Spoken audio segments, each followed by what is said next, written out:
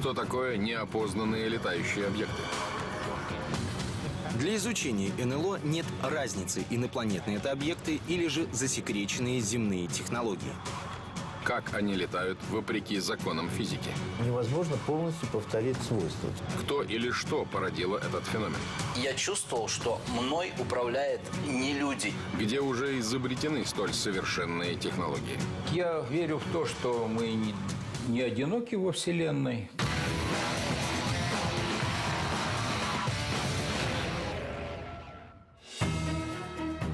Борис Макаров, благодаря удивительному портретному сходству, играет роли Леонида Брежнева. Но немногие знают, что до театральной карьеры он успел сделать летную. И совсем единицы слышали от него рассказ об одном странном происшествии в небе.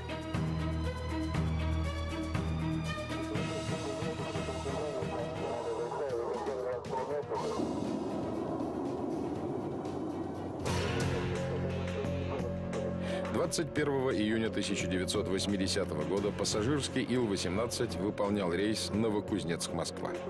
Борис Макаров был командиром воздушного судна. Стояла ясная ночь. Борт шел на высоте 8400 метров. Вскоре после того, как лайнер миновал Новосибирск, командир увидел впереди прожектора необычного аппарата. Пилоту показалось странным, что они светят в сторону Земли. Насторожило и то, что лучи были ярко-голубого цвета. Я смотрю, где ребята, говорю, что это экипаж?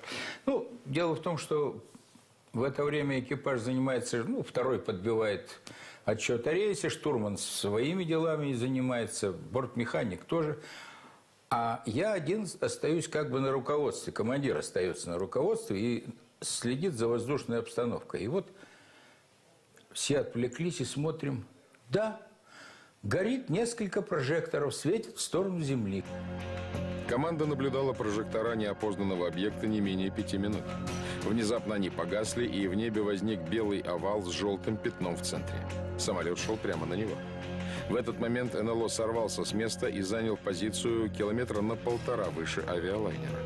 Однако члены экипажа Ил-18 смогли хорошо разглядеть этот объект. А, и вот мы видим, что два огромных иллюминатора, как, вернее, две огромных фары, которые освещены маленькими лампочками, то есть светится просто желтеньким э, светом. Возможно, если бы они включили полную мощность своих вот этих прожекторов, нам, наверное, не сладко пришлось. Проходим мы, я говорю, ребята, давайте сделаем вираж, посмотрим, что ж там такое-то. Может быть, увидим. Соблазн подлететь к диковинному аппарату был велик. Тревоги он не вызывал. Но в самолете находились еще 130 пассажиров, родители с детьми, летящие на юг через столицу. Летчики не могли рисковать их жизнями. Экипаж запросил диспетчерские службы, наблюдают ли они НЛО на своих радарах. Вот что вспоминает об этом случае летчик первого класса Федор Паличев, бывший вторым пилотом на том рейсе. Мы запросили, естественно, Красноярск. Говорят, у вас в зоне борты имеются или нет? Нету. Мы тоже в локаторе этого не видим. Штурмом. Посмотрели, у нас локатор, мы это не видели. Вот, тогда мы говорим, странно. Ну и молчим, естественно. Дальше оно то влево, то вправо, то отдаляется, то приближается, отвечает и уходит. На экранах наземных радаров никаких посторонних объектов в эшелоне не было. Пилоты повторили свой запрос о странном объекте. Земля вновь ответила отрицательно. Однако статистика военных гласит, что бывало и наоборот. Локаторы фиксировали объект, а люди нет. Очень много было случаев, что летит самолет, и параллельно, так сказать, та, э, образовывалась метка на локаторе от НЛО. То есть размеры такие же вроде, да, отражающие нет. Ну, только, конечно, на свой чужой не отвечает, да. Вот. Э, а летчик в полете, либо он вообще не видит, либо он видит какое-то э, облачное образование. Первое объяснение, которое пришло в голову членам экипажа Бориса Макарова – испытание новой баллистической ракеты. Это показалось вполне естественным. Однако летчикам никто из коллег не поверил.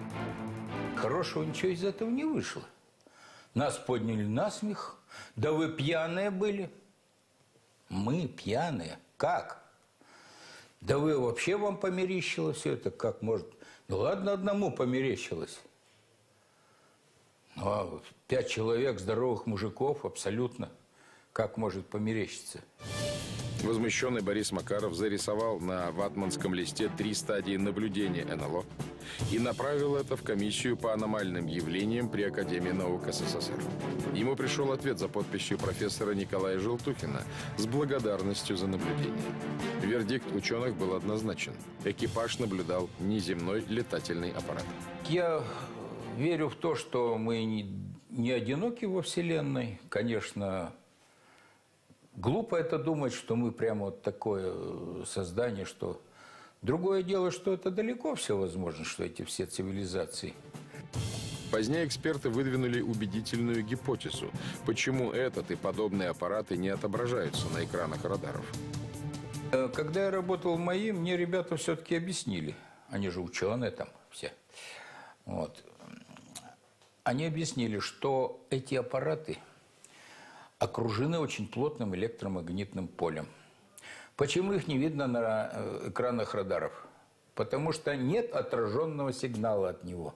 Полковник Александр Плаксин много лет заведовал в Министерстве обороны секретным отделом по изучению аномальных аэрокосмических явлений. Военные ученые всерьез занимались феноменом НЛО, чтобы определить технический уровень предполагаемого противника. Сегодня полковник может раскрыть нам часть выводов, к которым пришли эксперты относительно природы этих объектов. Сначала важно было установить, что это – корабли из металла или природные сгустки энергии. Получается, что все же в большинстве случаев это не твердый объект, а э, имеющий отражающий, это, допустим, поверхность какой-то плазменный объект. Да? Но были случаи, что внутри плазменного объекта что-то твердое. Это тоже локаторами определяли. Но это объяснить невозможно, конечно. Но наибольший интерес, конечно, представляет вот эти мгновенные эволюции, которые, так сказать, могут совершать НЛО. То есть лететь вверх, вниз, мгновенное ускорение, исчезновение, повороты. То есть вот материальный объект, он не может, такие будут перегрузки колоссальные. Вот это лишний раз доказывает, да, что это все-таки что-то газообразное и что-то связанное с плазмой. В Великобритании известен случай, произошедший над военными авиабазами Лейкенхит и Бентуотерс. Военные, обслуживающие радарные станции на этих базах, стали замечать странные явления. На экранах радаров начали появляться какие-то точки, которые на бешеной скорости передвигались по монитору. Эти странные объекты производили маневры, недостижимые для истребителей того времени. Военные терялись в догадках. Наконец им это дело надоело, и они подняли один из самолетов в воздух посмотреть, что же там такое летает. Когда самолет, ведомый по указанию радара, приблизился к неизвестной цели, летчик увидел, что это действительно какое-то тело, окруженное свечением. То есть что-то твердое, окруженное плазменной оболочкой. Но это тело маневрировало таким образом, как будто знало все правила воздушного боя. Дальше события развивались невероятным образом. НЛО зашел в хвост истребителя и преследовал его до тех пор, пока пилот, отчаявшись изменить ситуацию, не пошел на посадку. Парадоксально, но плазменным объектом явно управлял разум, ничуть не уступающий нашему. Этим телом явно управлял разум, не уступающий разуму летчика. Потому что тот, кто сидел за штурвалом этой штуки или управлял ею на расстоянии, смог не только э, держаться за самолетом и не оторваться, невзирая на все фокусы, но и как бы заранее предугадывал, какой маневр предпримет пилот. И иногда начинал противодействие еще до того, как у него руки успевали до штурвала дотянуться. Ник Поуп занимался расследованием случаев наблюдения НЛО в Министерстве обороны Великобритании. Его главной задачей было установить, есть ли какая-либо потенциальная угроза Объединенному Королевству от неопознанных летающих объектов. Большинство случаев наблюдений можно было легко объяснить, но от 5 до 10 процентов из них так и не получили объяснения, и это представляло определенную сложность. Британским военным приходилось успокаивать общественность, сообщая, что часто эти объекты не представляют никакой угрозы. Но эти 5-10% необъяснимых наблюдений НЛО внушали тревогу. Летчики видели, насколько эти аппараты превосходят самые передовые авиационные технологии. Отчеты об этих случаях сразу же получали гриф «секретно». Это становилось проблемой, потому что мы не могли контролировать ситуацию. Правительство и военные не могли просто объяснить общественности, что в нашем воздушном пространстве есть некие объекты быстрее нас, более маневренные, и мы не знаем, что это. Это было бы признанием того, что мы потеряли контроль над воздушным пространством. И совершенно очевидно, что такая ситуация неприемлема для любого правительства. В первую очередь военные искали материальные свидетельства природы НЛО. Для этого они выезжали туда, где эти объекты совершали посадку на Землю. Вся местность вокруг тщательно исследовалась. В самом известном в Великобритании случае наблюдения НЛО, который произошел в Рендльшемском лесу в декабре 1980 года, выяснилось, что уровень радиации в месте приземления этого объекта был в 7-9 раз выше, чем нормальный уровень, который привыкли наблюдать в той местности. Это было совершенно официальным свидетельством присутствия и неопознанного летающего объекта в том месте.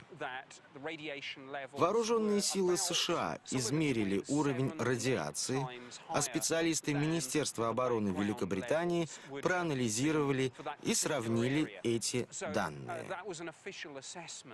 Случай в Рендельшемском лесу многое объяснил насчет природы летающих тарелок.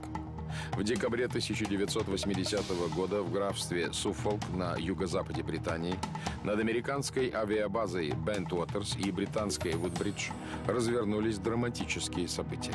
Настоящее нашествие НЛО. Летающие тарелки зависали над базами и испускали лучи света, направленные на места хранения ядерного оружия. И вскоре приземлились прямо на авиабазе США неподалеку от складов с атомными бомбами.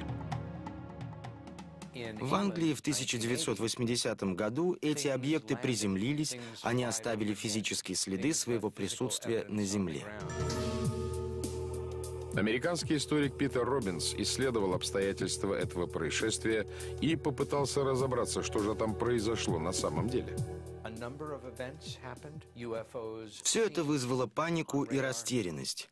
Практически все свидетели этих случаев — это сотрудники американских военно-воздушных сил, которые находились в то время на территории Великобритании. Среди них был мужчина, с которым я потом написал книгу о его опыте участия в этих событиях 1980 года. Американцы пытались всех успокоить и не поднимать шумиху. Но в 1982 году один человек выступил и впервые рассказал эту историю. Питер Робинс собрал показания свидетелей, замеры и показания приборов, а также различные документы американских ВВС. Оказалось, что некоторым очевидцам военные пытались стереть память с помощью химических препаратов. Затем им внушили поддельные воспоминания. А общественное мнение смоделировали умело пущенной дезинформацией. Эти документы еще официально засекречены. Я это изучал, как и множество моих коллег, довольно длительное время, и я убежден, что это правда. Главный вопрос, на который пока ответа нет, кому принадлежат эти объекты. Позиция Ника Поупа по этому вопросу такова. С уверенностью сказать нельзя. Я не могу со стопроцентной уверенностью заявить, что они имеют внеземное происхождение. С другой стороны, я не могу сказать, что это невозможно. Есть и другие варианты – мы можем иметь дело с секретными воздушными судами или аппаратами, управляемыми нашим правительством или присланными в Великобританию из других стран, например, для испытания воздушной обороны, проверки, насколько хороши наши радары и системы авиазащиты. 16 августа 1991 года. Ейское высшее военно-авиационное училище.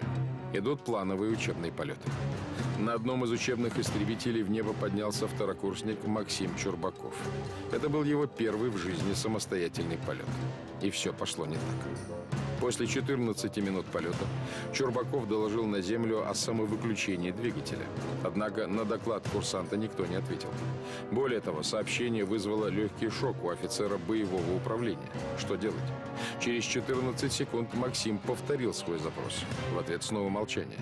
Еще 12 секунд. Снова Чурбаков сообщает о самовыключении двигателя его самолета. После второго поворотного пункта на высоте 1500 метров у меня произошел отказ двигателя. Я определил это по приборам, по температуре, по оборотам двигателя. Начал докладывать 42-й отказ двигателя. Ну и перечислять параметры, как определил что. Высота падала. По закону все курсанты, которые ниже 1500, когда поддержишь сразу, можно без доклада. Максим отвернул от населенного пункта и катапультировался на высоте 1200 метров.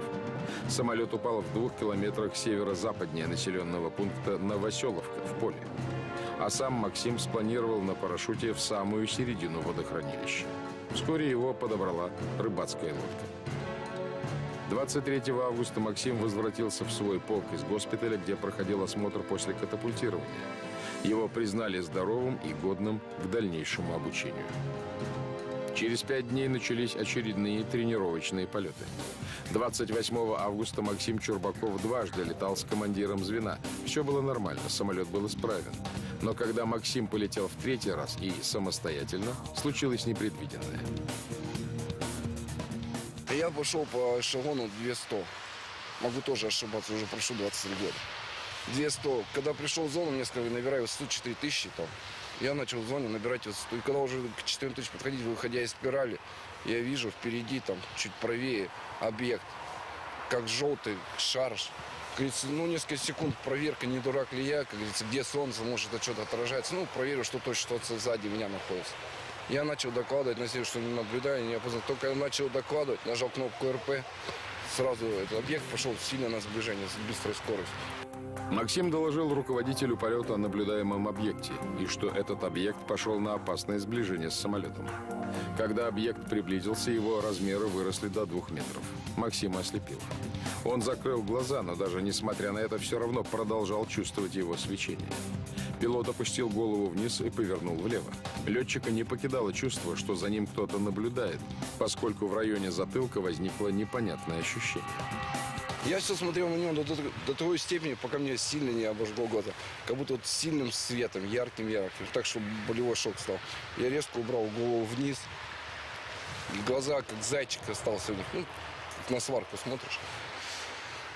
После этого я начал поднимать голову и увидел это, загорелась лампочка отказ генератора, замигала. И тут же я только начал доказывать, тут же загорелась лампочка пожара. И смотрю, загорелись лампочки, ну, высокая температура, там 730-760, могу ошибаться, там плюс-минус. Максим Чурбаков стал проверять шлейф за самолетом. Его глаза немного щипало, и они начали слезиться. Когда он повернул голову вправо, чтобы разглядеть плазменный НЛО, то его уже не было. В этот момент в кабине появился дым. Летчик перешел на дыхание чистым кислородом и доложил об этом на землю. Руководитель полета дал команду на катапультирование. Максим отказался. Прямо по курсу самолета появился большой населенный пункт. Лишь миновав его, пилот катапультировался. Когда прилетел вертолет, двери открылись, те же были люди, которые меня 16 часа забирали. Они знали меня по имени, говорят, Максим, опять ты? Я говорю, да. Они говорят, ну все, Максим, мы слышали эфир, командующий там просто рвет и мечет. Тебе, говорит, точно конец. И сразу допрос пошел до трех или до четырех ночи. Одни и те же вопросы. Командующий сразу сказал, ты все врешь. Первый, второй и третий случай – это твои выдумки, и все, мы ничему не верим. 6 сентября 1991 года Максима Чурбакова с его согласия ввели в гипнотический сон. Сколько это продолжалось, он не знает. Вечером того же дня у него сильно болела голова. Утром из носа пошла кровь, чего раньше никогда не было. На следующий день курсанта перевели в госпиталь военного округа в Ростове. Там тестирование и беседы продолжились. Результаты оказались невероятными.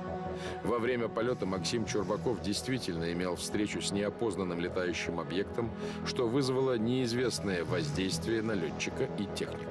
Иногда, иногда там пол шестого будили там командующий куда-нибудь на полеты. Приезжает все свиты, командующий. И начинается допрос. Все, все допросы велись на камеру, и, ну и все записывалось постоянно. Меньше ну, звания подполковника или полковника меня никогда вообще никто не допрашивал. Их трое, четверо там сидит.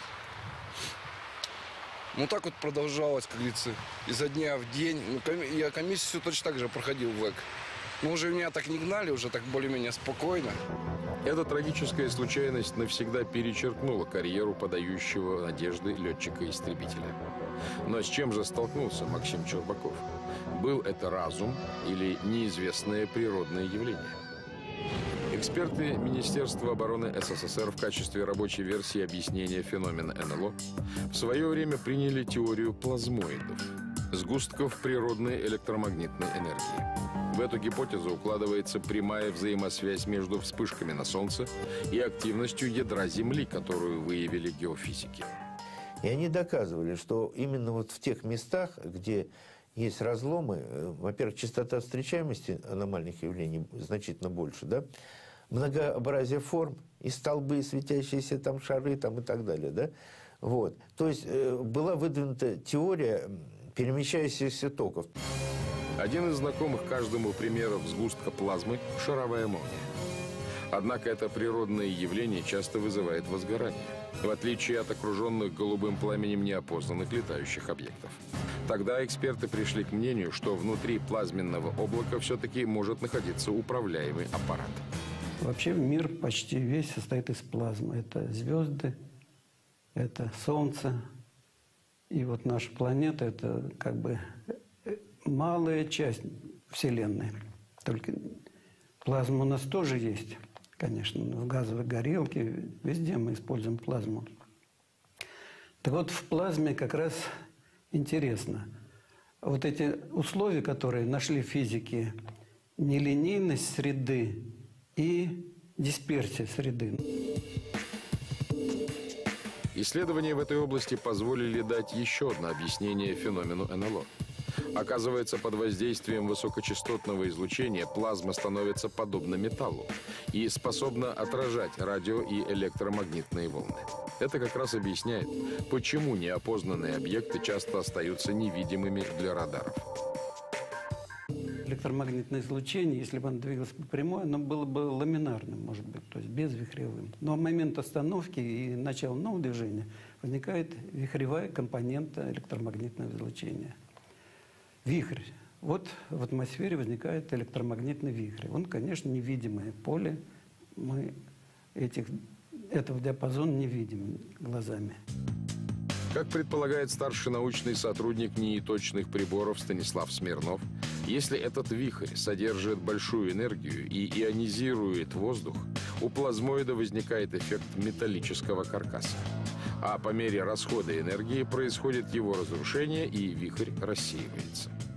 Э, Встреча пилотов с шаровыми молниями. Ведь известно тоже, адская головная боль, шум в голове. И это рассказывают пилоты, которые в последний момент отвернули. Они не могли выносить это, хотя было там десятки метров до огненного шара пятиметрового размера. Это все едино. Это вот влияние того поля. Таким образом, один из принципов движения НЛО стал понятен.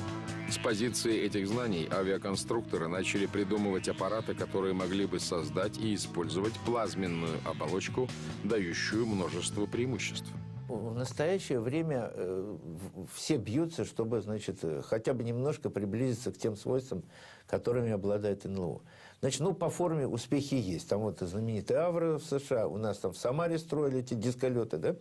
То, э, то что это позволяет? Ну, маневренность, там, допустим, вес изменить, там, ну, какие-то аэродинамические характеристики улучшить. Дальше. Можно окружить плазменной оболочкой, специальные генераторы ставить, для того, чтобы невидимы были самолеты. Используют там какие-то специальные композиционные материалы. Однако даже когда мы создадим этот совершенный летательный аппарат, плазменный облачный призрак, нам все еще будет далеко до настоящих НЛО. Главное, что вот невозможно полностью повторить свойства. Вот сейчас вот нет такого, что полностью повторил свойства э, летающий аппарат, свойства НЛО. То есть здесь нужны уже прорывные. То есть нужен э, двигатель на новых физических принципах, который уже э, как бы работал по новым физическим законам. Совершенно новый принцип. 20 июля 1992 года. В самом разгаре вооруженный конфликт в Приднестровье. Ясная ночь. Луна светит ярко. Боевое охранение моста через Днестр несет службу. У него на вооружении ЗСУ «Шилка» и ПЗРК «Игла». Около полуночи радар, установленный на зенитной самоходной установке, засек движущуюся цель.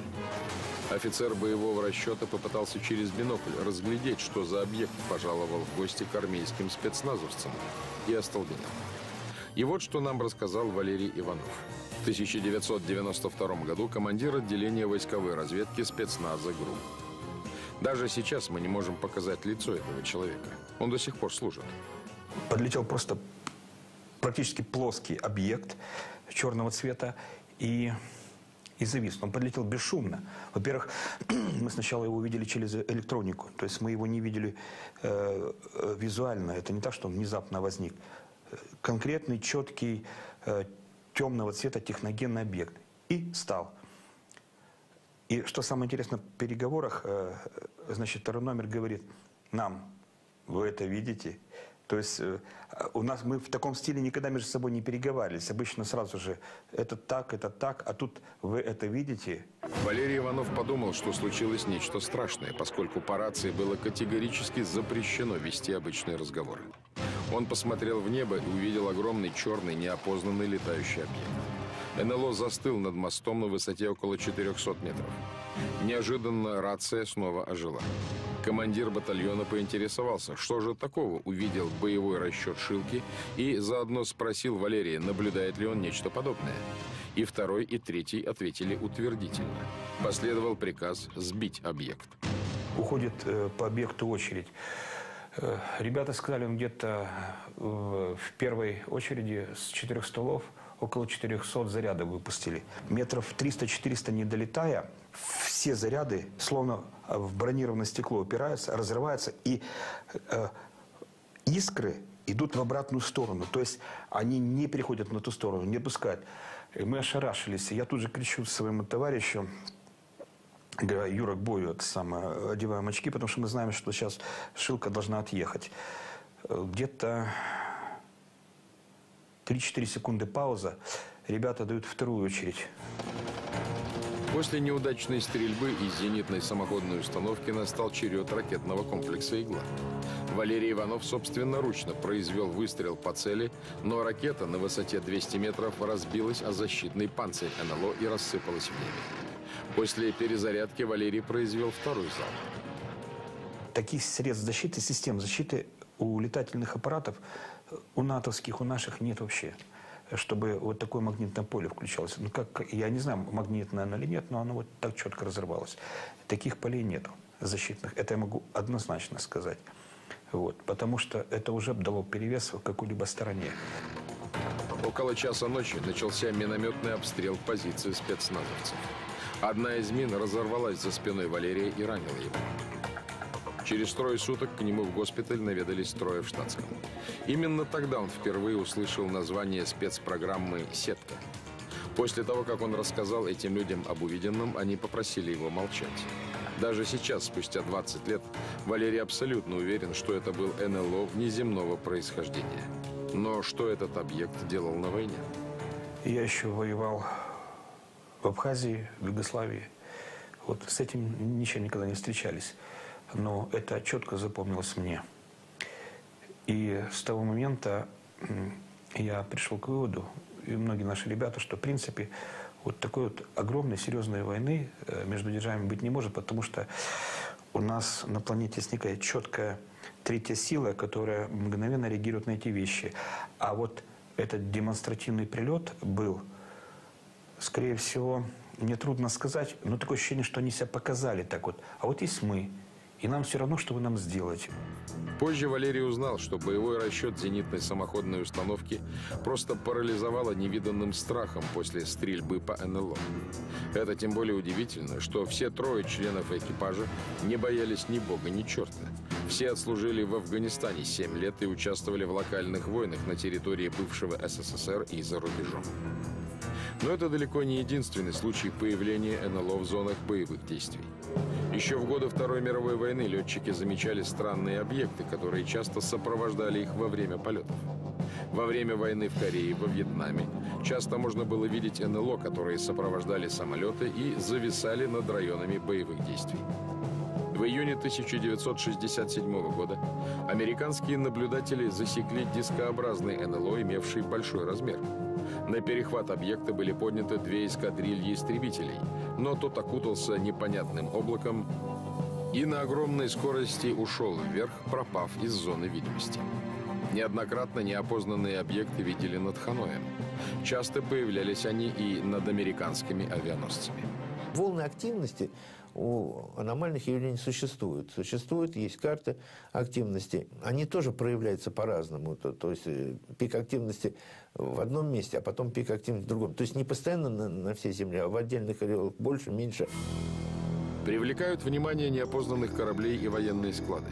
В 1978 году над складом в Псковской области появился светящийся шарообразный объект. Зависая по очереди над каждым хранилищем, шар направлял на него луч света, а затем рывком перемещался к следующему, прямо на глазах у всего караула. В то же самое время шар появился и на следующий день, повторив свои действия.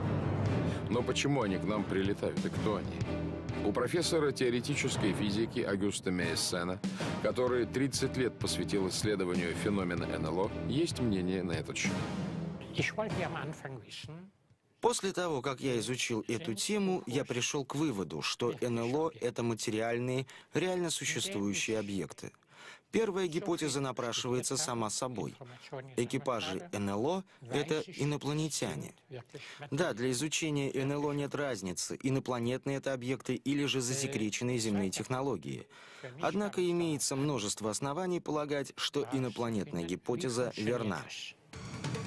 Но как объяснить необычайную маневренность НЛО, способность мгновенно менять скорость и траекторию полета, а также пропадать и появляться в другом месте? Эксперты склонны считать это их умением перемещаться во времени и даже измерениях. И существование множества измерений ученые математически доказали. НЛО, возможно, управляет не только пространством, передвижением в пространстве, но и передвижением во времени. Об этом говорит целый ряд интересных фактов, связанных с неопознанными летающими объектами. Во-первых, на местах посадок НЛО происходят сбои и отказы оборудования, измеряющего время. Как выяснил Михаил Герштейн, точные хронометры на местах приземления летающих тарелок начинают отставать или забегать вперед. Теоретически в этих местах сохраняется некое остаточное поле, искажающее время. Также люди, которые утверждают, что побывали на борту неопознанных летающих объектов и провели там, по их мнению, считанные минуты, на самом деле отсутствовали на Земле гораздо дольше. Были другие, гораздо более интересные случаи, когда люди отсутствовали для наблюдателей на Земле считанные минуты, например, 15 минут, а по выходе из НЛО оказывались обросшими бородой, и календарик в их часах показывал дату гораздо дальше отстоящую от э, даты настоящей. Понятное дело, что никому, побывавшему на борту НЛО, в голову не придет крутить часы, переставлять дату.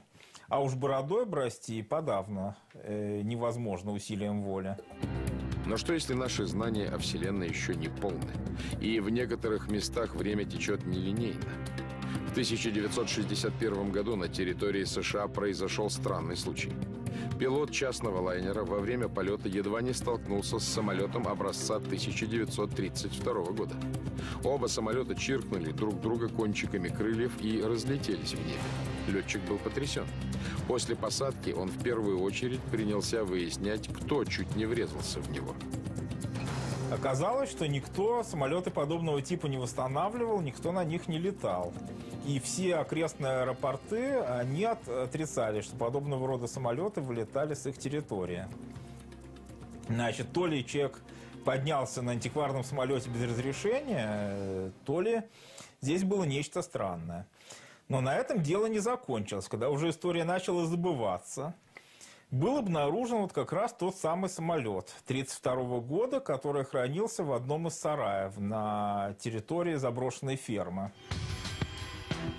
В этом самолете нашли планшет с бортовым журналом, в котором осталась невероятная улика. Совершенно фантастическая запись. Я сегодня вылетел и едва не столкнулся с необычным самолетом серебристого цвета. Но самое интересное, на кончике крыла самолета 1932 года нашли следы алюминиевой краски, которой был покрашен самолет 1961 года. Этот случай расследовался Федеральным управлением авиации США. Древний самолет был подвергнут осмотру, который выявил, что он не поднимался в воздух как минимум 15 лет.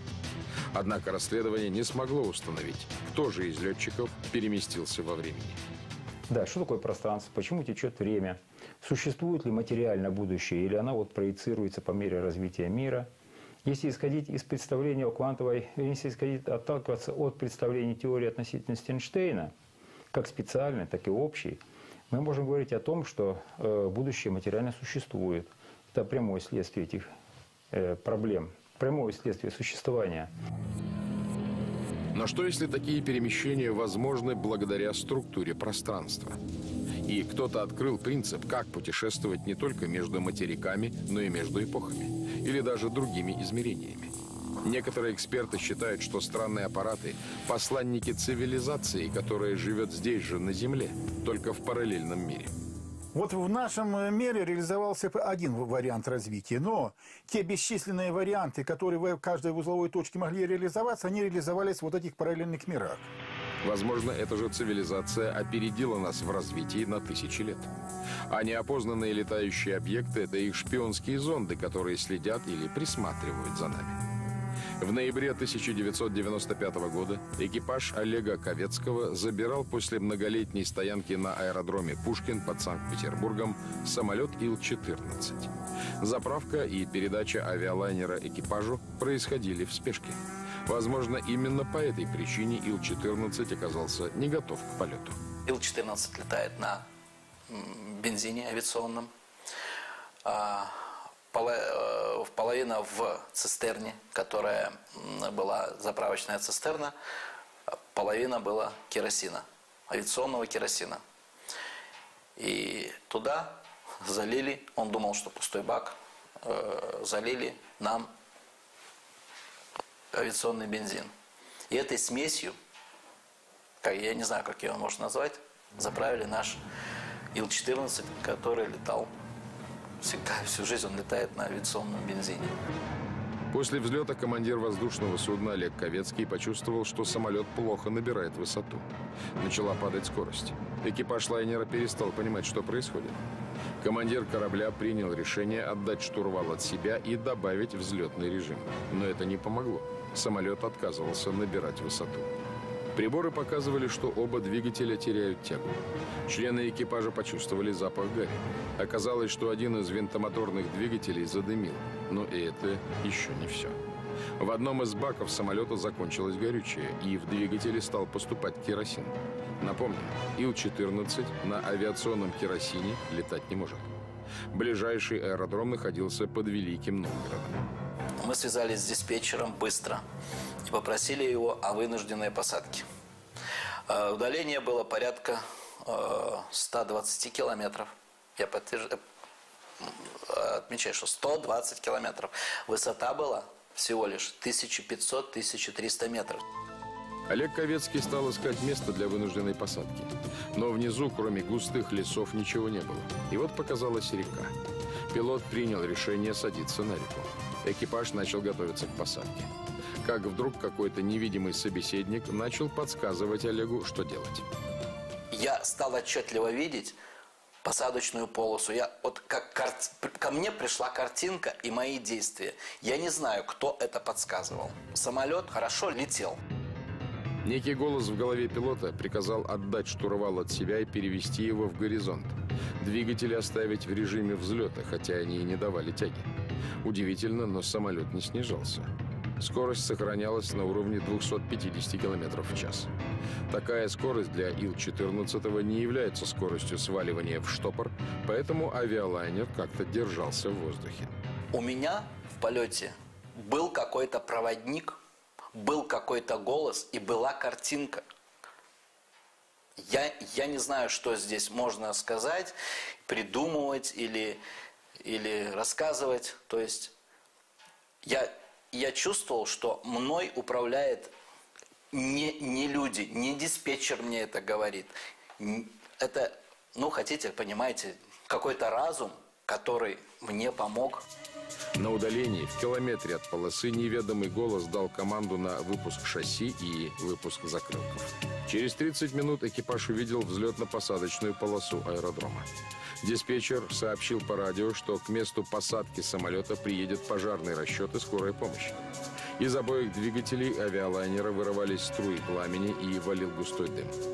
Несмотря на экстремальные условия, посадка прошла успешно и никто не пострадал. 120 километров пролететь без двигателей. Это нереально, без снижения. То есть вот такая загадка, то есть нами управлял, я не знаю, кто и что это было.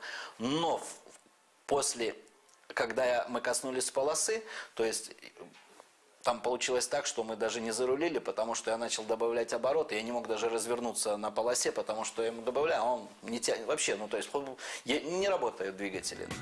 До сих пор Олег задает себе вопрос, кто вмешивался в управление самолетом? Кто помог ему в смертельно опасной ситуации? И такие случаи не единичны. Летчиков и самолетов спасали какие-то неведомые силы. И они вмешивались именно тогда, когда им больше никто не мог помочь. Может ли это быть внеземной разум? По мнению доктора военных наук Константина Сивкова, в космосе существует довольно много планет, где могла развиться жизнь, причем гораздо раньше, чем на Земле. Все зависит от условий возникновения того или иного мира. Гравитации, которая там характерна для него, климатических условий существования и ряда других, других, многих других факторов. Поэтому предположить о том, что это более высокоразвитая цивилизация предпримет космические путешествия с использованием Э, таких космических кораблей, которые используют те такие двигатели и такие принципы движения, которые нам пока недоступны, я вполне не могу предположить. Американский астрофизик Джилл Тартер полагает, что существование планет, где возможна жизнь, – реальность. Ученые уже обнаружили экзопланеты, которые в определенной степени похожи на Землю. Как, например, Кеплер-62f. Оказывается, эта планета по своим характеристикам соответствует Земле на 83%. Мы хотим обнаружить планету, которая бы соответствовала Земле на все сто процентов. Мы считаем, что такая планета должна существовать. Скорее всего, данные о ней еще не были проанализированы Кеплером. Если нам удастся обнаружить эту Землю 2.0, есть шанс обнаружить на ней и жизнь. На данный момент астрофизики обнаружили десятки планет, похожих на Землю по размерам и условиям. Некоторые из них находятся в зоне жизни. Благодаря телескопу Кеплер ученые получили данные о трех тысяч кандидатов в экзопланеты.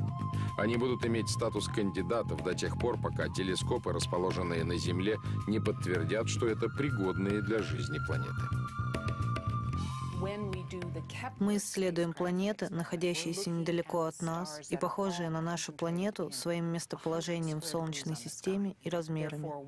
Если говорить об исследованиях с помощью космического аппарата Кеплер, мы исследуем звезды и планеты, сконцентрированные в регионе наблюдения, а это примерно 100 квадратных градусов неба. Именно поэтому все обнаруживаемые нами планеты находятся именно в этом секторе неба. Но может ли быть так, что те летательные аппараты, что мы наблюдаем, это вовсе не пришельцы из параллельных миров или далеких планет, а новое супероружие, вероятно, сделанное на основе наблюдений технологий НЛО? Многие эксперты в области вооружений полагают, что такое возможно. Но подобные проекты строго засекречены. Однако информация о новейших разработках авиационных инженеров периодически просачивается в СМИ. Вот одна из таких разработок. ТР-3Б «Астра» – секретный проект США. Как полагает историк Виктор Бумагин, истории про пришельцев необходимы правительством для отвлечения людей от секретных разработок военной авиационной промышленности. Такие аппараты, это, видимо, и есть засекречиваемые различные летательные аппараты, тот же ТР-3Б, СР-91 «Аврора», в нашем случае, возможно, это МиГ-37. Само создание вот этих аппаратов э, современных, э, оно засекречивается, видимо, под личиной инопланетян, начиная с 70-х годов. Вы видите уникальные кадры. Это первый полет «Астры» в целях тактической разведки. Аэрокосмическая платформа, приводимая в движение атомным реактором, была разработана на базе 51 в штате Нью-Мексико и стала следствием программы «Аврора». Как свидетельствуют различные источники, на изготовление только одного самолета был потрачен 1 миллиард долларов США. В ходе э, конфликта в Персидском заливе, операции «Буря в пустыне», американцы якобы обкатывали на практике этот самолет – и солдаты э, антииракской коалиции, они запомнили, в общем-то, их пролеты по характерному вибрирующему густому звуку, идущему откуда-то с большой высоты. Э, и этот звук к тому времени уфологи уже приписывали неким разновидностям НЛО.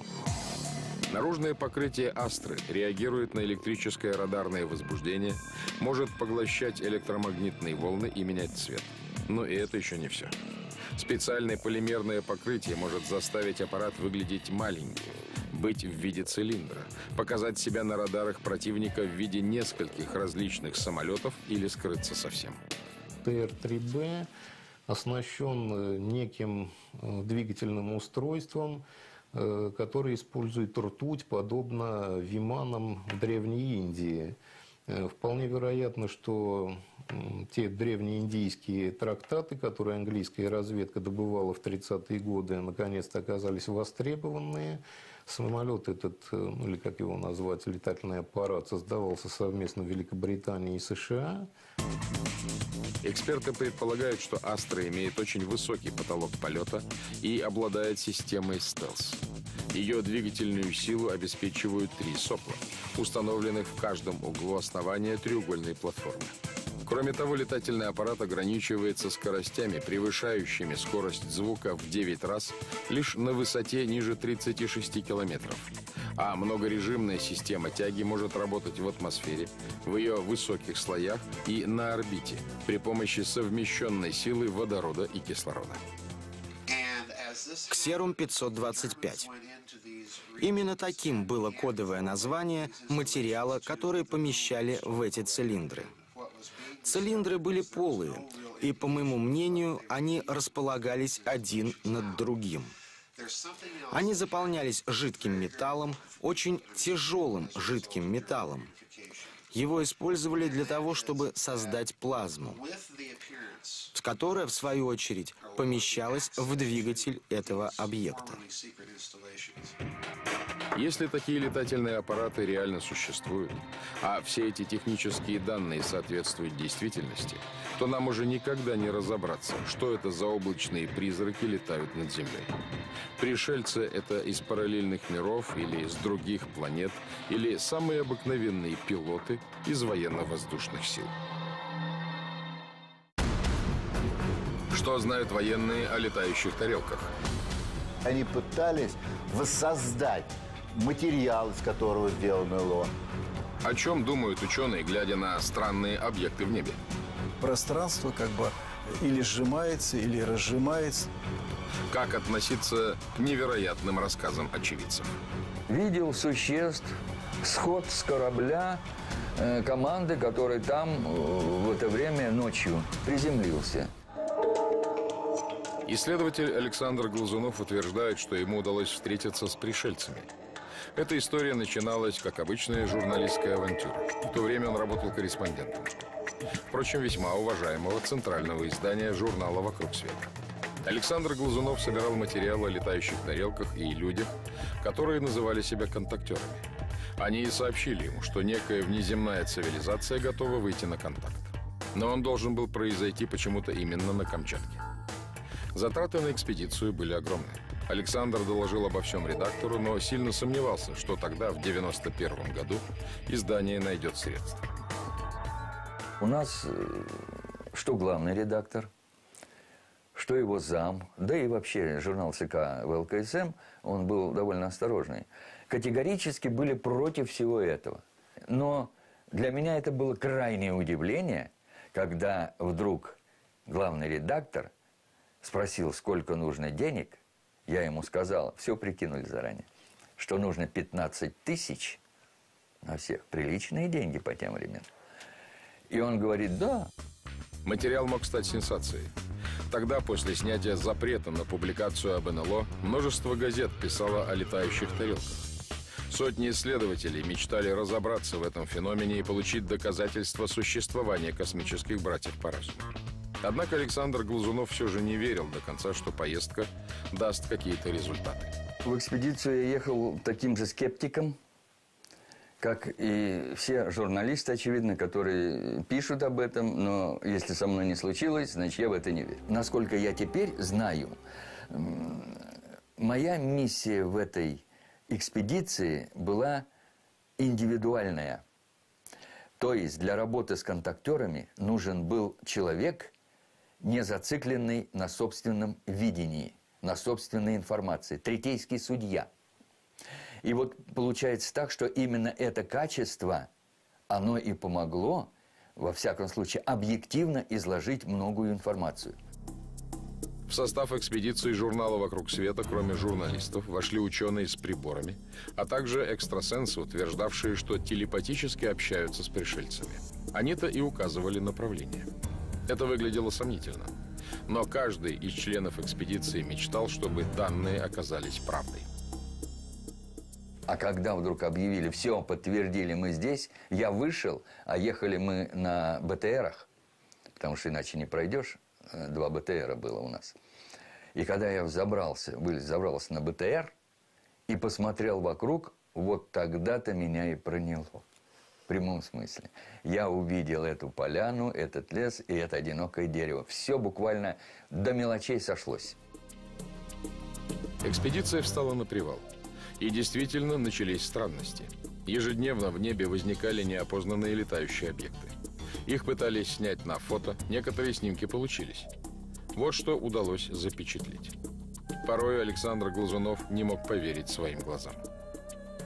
Видел существ, сход с корабля э, команды, который там э, в это время ночью приземлился. Я приложил окуляр к глазу и стал снимать. У меня вместо леса появились вот эти вот э, цепочка людей, которые сходили, э, ну, если вот так судить, там, с чего-то высшего на более низшее. Вот шли сверху вниз так, постепенно. Вот они сходили, среди них была одна женщина. Вот, я, естественно, трудно было в это поверить. Я камеру отнял от глаз, смотрел так несколько раз, ничего подобного, ничего не вижу. Опять глаз, опять идут. Необычные события происходили и на Земле. Я был недалеко от поляны, то есть э, стоял на краю леса, передо мной поляна, освещенная луной, и дальше опять темный лес. И когда я стал фотографировать, появилось светлое пятно, большое очень, знаете, на которой была поляна, костер, и вокруг двигались такой вот э, пляшущих движениях тоже люди. Среди них были две женщины.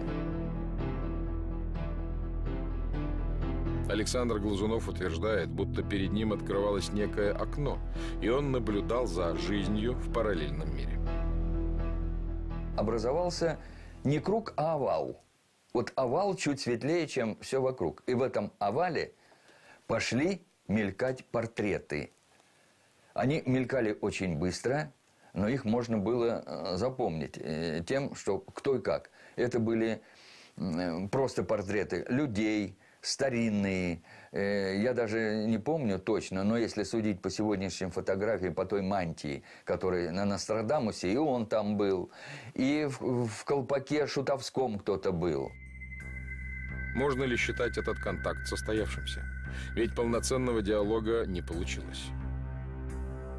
Дело в том, что более высокоразвитые цивилизации воспринимают нас не совсем как разумных существ. И это связано с тем, что сознание большинства людей только на 5% осознает мотивы своих поведения и свои реакции.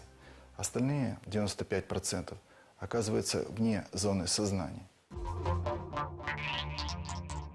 Мы привыкли думать, что если на Землю прилетят инопланетяне, они припаркуют летающую тарелку перед Белым домом.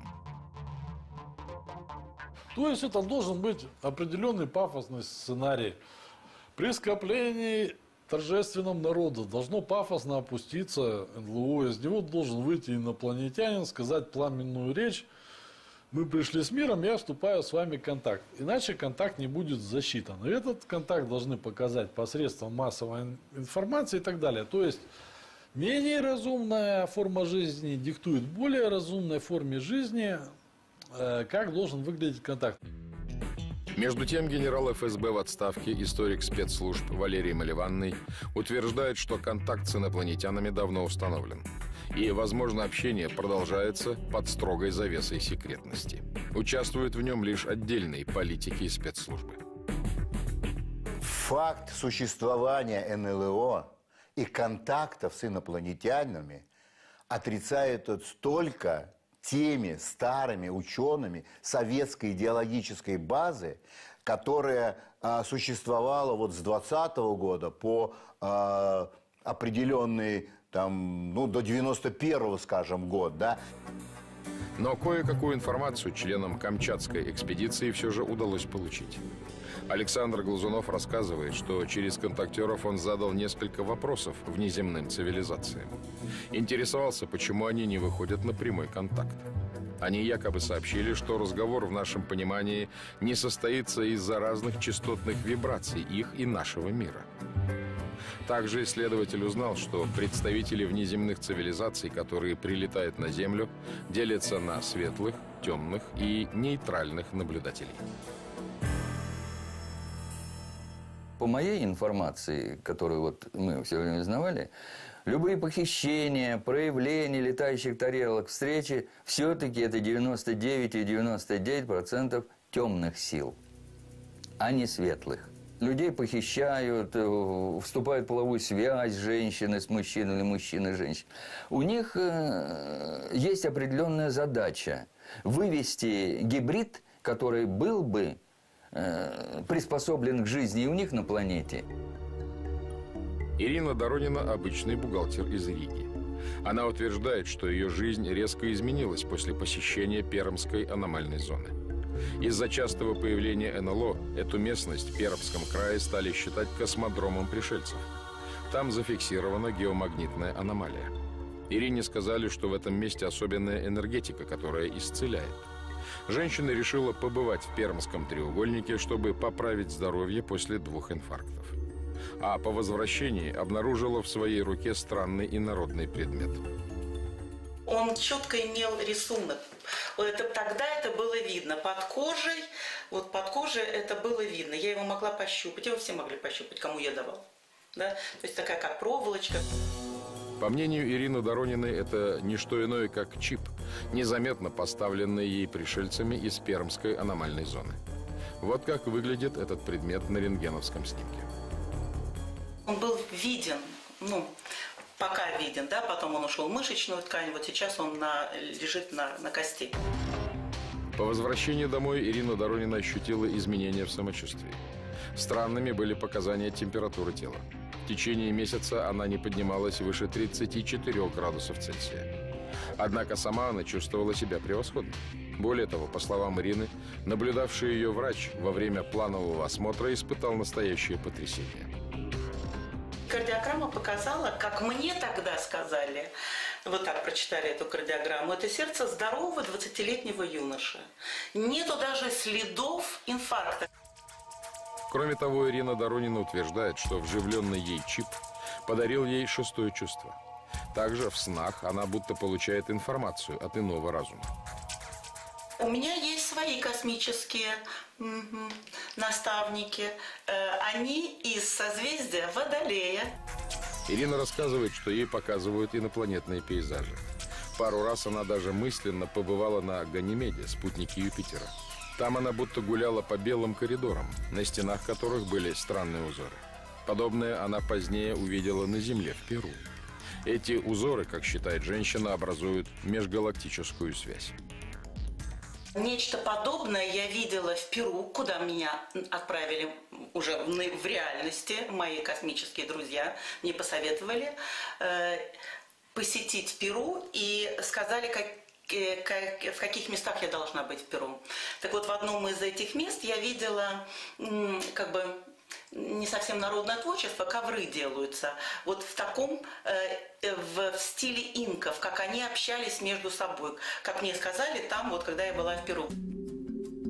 По информации, которую получил Александр Глазунов в экспедиции на Камчатке, эксперименты пришельцев над людьми и влияние на них с помощью имплантатов – это реальность. Но таким людям, как Ирина Доронина, не стоит обольщаться насчет целей тех, кто вживляет эти чипы таких людей масса. Масса. И э, уж в книге все это есть, и давно, что э, задачи определения чипов, они настолько разнообразные. Во-первых, все это делается только темными ВЦ. Во-вторых, это делается для того, чтобы каким-то образом влиять на человека. Но даже если допустить эту смелую идею, как можно влиять на сознание людей через имплантат или нейронный передатчик? Оказывается, чип, влияющий на самочувствие человека, уже не новость. Сегодня в медицине практикуется внедрение в тело предметов, которые впоследствии распадаются. Это так называемые интерметалиды. Допустим, необходимо восстановить э, канал, там, артерию и так далее. И, в принципе, э, используются вещества, которые обладают так называемой памятью формы, те же самые металлы. То есть вводится э, небольшая пластиночка или вводится проволочка, которая по прошествии определенного времени или при определенной температуре, например, скручивается в спираль. Ну, это простейший пример. Расширяет сосуд, какое-то время существует внутри этого сосуда, восстанавливая функции. Такие технологии появились недавно. Это не исключает вероятности того, что инопланетные цивилизации овладели подобными знаниями раньше. Если кто-то нас обогнал, например, лет на 500 в своем развитии, то, в общем-то, ничто не мешало вводить таким образом э, вот эти программные э, устройства, э, не знаю, 2000 лет назад, и исследовать там человечество таким образом. А может быть, даже передавать ему информацию какую-то при необходимости. Все это вполне может объяснить улучшение здоровья Ирины Дорониной. Ученые полагают, что скоро можно будет лечить чипированием множество заболеваний. Очень такой спектр широкий использован. Это различного э, рода протезы и имплантанты, допустим, связанные с изменением параметров работы костной ткани. Э, черепно-мозговые травмы прежде всего. Вживляется металл, который э, абсолютно адекватно воспринимается костной тканью. Она нарастает вокруг. Технология заканчивается на том, что эта пластинка как бы вживляется внутрь костной ткани, и дальше она не извлекается оттуда. Ничто не мешает э, предусмотреть в технологии э, последующую аннигиляцию этого металла. Это просто дорого пока. Пластинку нужно будет проглотить как таблетку. Или медицинские чипы будут вставляться в больной орган. Эта технология позволит обрести новые физические возможности. Можно усиливать способности человека с помощью э, вживления э, там, определенных устройств, которые усиливают звуки, то есть воздействуют непосредственно на среднее ухо, которые позволяют э, в зубе иметь передатчик, ну и так далее. То есть, в принципе, э, создание такого, как бы, в кавычках, биоробота, потому что вообще-то это человек, но который просто использует новые технологии, это не просто э, какое-то дело отдаленного будущего. Некоторые исследователи полагают, что через чипированных людей пришельцы давно управляют ходом исторических событий на Земле. Эволюция человечества, она не идет ни влево, ни влево, ни вправо, ни вверх, ни вниз. Она идет в строго определенном направлении. То есть если вот проследить весь период эволюционный, то получается, что он управляемый. И управление происходит вот этим эволюционным путем, в том числе на уровне духовном, через людей, естественно, в том числе через определенные учения. Они выбирают индивидов, берут их под контроль и так реализуют свои планы. Есть мнение, что великий французский полководец Наполеон якобы был марионеткой в руках иного разума. Ну, ряд уфологов, они э, изучали якобы вот останки Наполеона. И э, потом биографы, там целый ряд ученых, историков занимались этой проблемой и пришли к выводу, что якобы в череп э, Наполеона был э, внедрена такая металлическая пластинка размером где-то 12 миллиметров. И потом, когда ее изучили, остатки, то, в общем, поняли, что под ней мог находиться чип. Удивительно, но у этой фантастической версии есть подтверждение. Биографы Наполеона нашли любопытный факт. Установили, что где-то вот э, в, 1700, в начале 1780-х годов он на какой-то период времени пропадал. Причем потом его спрашивали, что с ним, как, вот какая, где он был, болел ли он. Он ничего не мог внятного сказать. И после этого вдруг начинается ре, резкое восхождение Наполеона и его карьеры. Но вот по мнению, опять же, вот этих вот специалистов, э, в 1810 году якобы этот чип дает сбои. Сбоем работы чипа эти исследователи объясняют поражение Наполеона в ряде войн, в том числе и с Россией. И французский полководец не единственный, кто буквально исполнял волю небес. Носителями инопланетного чипа, как полагают специалисты, были известные мыслители, правители и даже ученые. Те люди, которые вели массы, к мнению которых прислушивались. Аналогичные чипы могли существовать и у Платона, и у Эйнштейна, и, э, соответственно, и у Александра Македонского. Есть даже предположение, что душа человека – это тоже некий инопланетный чип, только в энергоинформационном виде. Когда человек рождается, а, я хочу еще раз подчеркнуть, ему, он наделяет его физическое тело, наделяют душой. Это наделение душой делает кто-то из какой-то спецлаборатории. Не зря же говорят, у кого-то есть экстрасенсорные способности. То есть, ну, мы знаем, вот все практически говорят, у каждого своя судьба, и все с этим согласны. Ученые полагают, что уже в ближайшее время люди будут осознанно вживлять себе в тело чипы с разными программами. Тогда, возможно, обмен мыслями на расстоянии перестанет быть чем-то из области фантастики. Это будет происходить подобно обмену СМС-сообщениями. Ученые полагают, что со временем подкожные чипы полностью заменят телефоны и компьютеры. Сейчас для того, чтобы отправить смс э, необходимо все-таки достать определенный объект и набить и увидеть на дисплее, то через некоторое время достаточно будет вот так вот сделать руки, у вас появится экран, допустим, вот здесь вы будет у вас проектор, а здесь вы будете набирать сообщение, которое захотите отправить. Щелкните пальцами, оно ушло.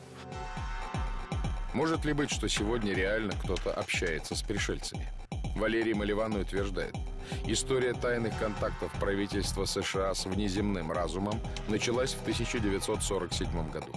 После того, как под городом Розвелл рухнуло нечто похожее на летающую тарелку. По слухам, внутри находились четверо гуманоидов, один из которых еще был жив. Само понятие НЛО началось с 1947 года, когда вот инопланетные цивилизации, существовавшие когда-то на Земле, э, спецслужбы всех стран мира стали признавать. Для расследования этого феномена была собрана команда из сотрудников Министерства обороны и военной разведки США. Мы знаем, что по этим неопознанным летательным объектам американцы э, создали специальных четыре института с несколькими полигонами, где они пытались воссоздать материал, из которого сделано ЛО, э, посмотреть медицинские характеристики тех инопланетных людей, которые попали вот в эту аварию. Но ни в США, ни в СССР тогда никто не знал, что с этим делать. Военные эксперты просто собирали наблюдения очевидцев и данные приборов. Оказалось, что случаев появления НЛО в воздушном пространстве обеих сверхдержав фиксируется до тысячи в год. И эти объекты явно не принадлежат противнику. По обе стороны океана было решено создать специальные, особо секретные подразделения, которые занимались только этой проблемой. Мы знаем, что спецслужбы какие были в Советском Союзе. Это КГБ СССР и это э, ГРУ. то есть военная разведка. И в каждой из этих служб были созданы специальные отделы, секретные совершенно отделы, которые занимались именно э, контактами вот с этими НЛО. Но нужны были не НЛО, нужны были технологии вот этих древних цивилизаций, которые, как подозревали э, наши спецслужбы, и не только наши спецслужбы, они могли контактировать с, и влиять на умы и разумы людей. Понятно, что э, столь древние э, цивилизации инопланетные, они владели, естественно, не только там гипнозом, они э, могли э, влезть в сознание человека. С 1954 года сообщения об НЛО стали засекречиваться. Их не стало меньше, но все делали вид, что ничего нет. По мнению исследователей, здесь и скрыт ключ к проблеме контакта с внеземными цивилизациями. На основе косвенных данных американские исследователи попытались восстановить картину событий начала 1954 года.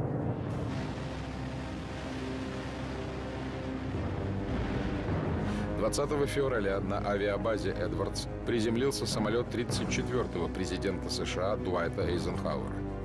В конце взлетной полосы уже стояла летающая тарелка – корабль инопланетян. По словам участников тех событий, которые и ныне предпочитают оставаться неназванными, президент Эйзенхауэр поднялся на борт НЛО и даже подписал с пришельцами стратегический договор с президентом США Эйзенхауэром э, на авиабазе «Эдвардс» состоялся лишь переговоры, даже было подписано якобы некое соглашение о том, что США предоставляет э, территорию свою для того, чтобы часть э, вот, инопланетян, которые пострадали там, планета их якобы погибла, и они, соответственно, им где-то нужно найти убежище, и вот им предоставляется убежище в обмен на технологии. И вот такое вот, как бы, вот сотрудничество существует. По мнению аналитиков, проблема заключается в том, что президент Америки заключил с внеземной расой не просто пакт о ненападении. Истина гораздо страшнее.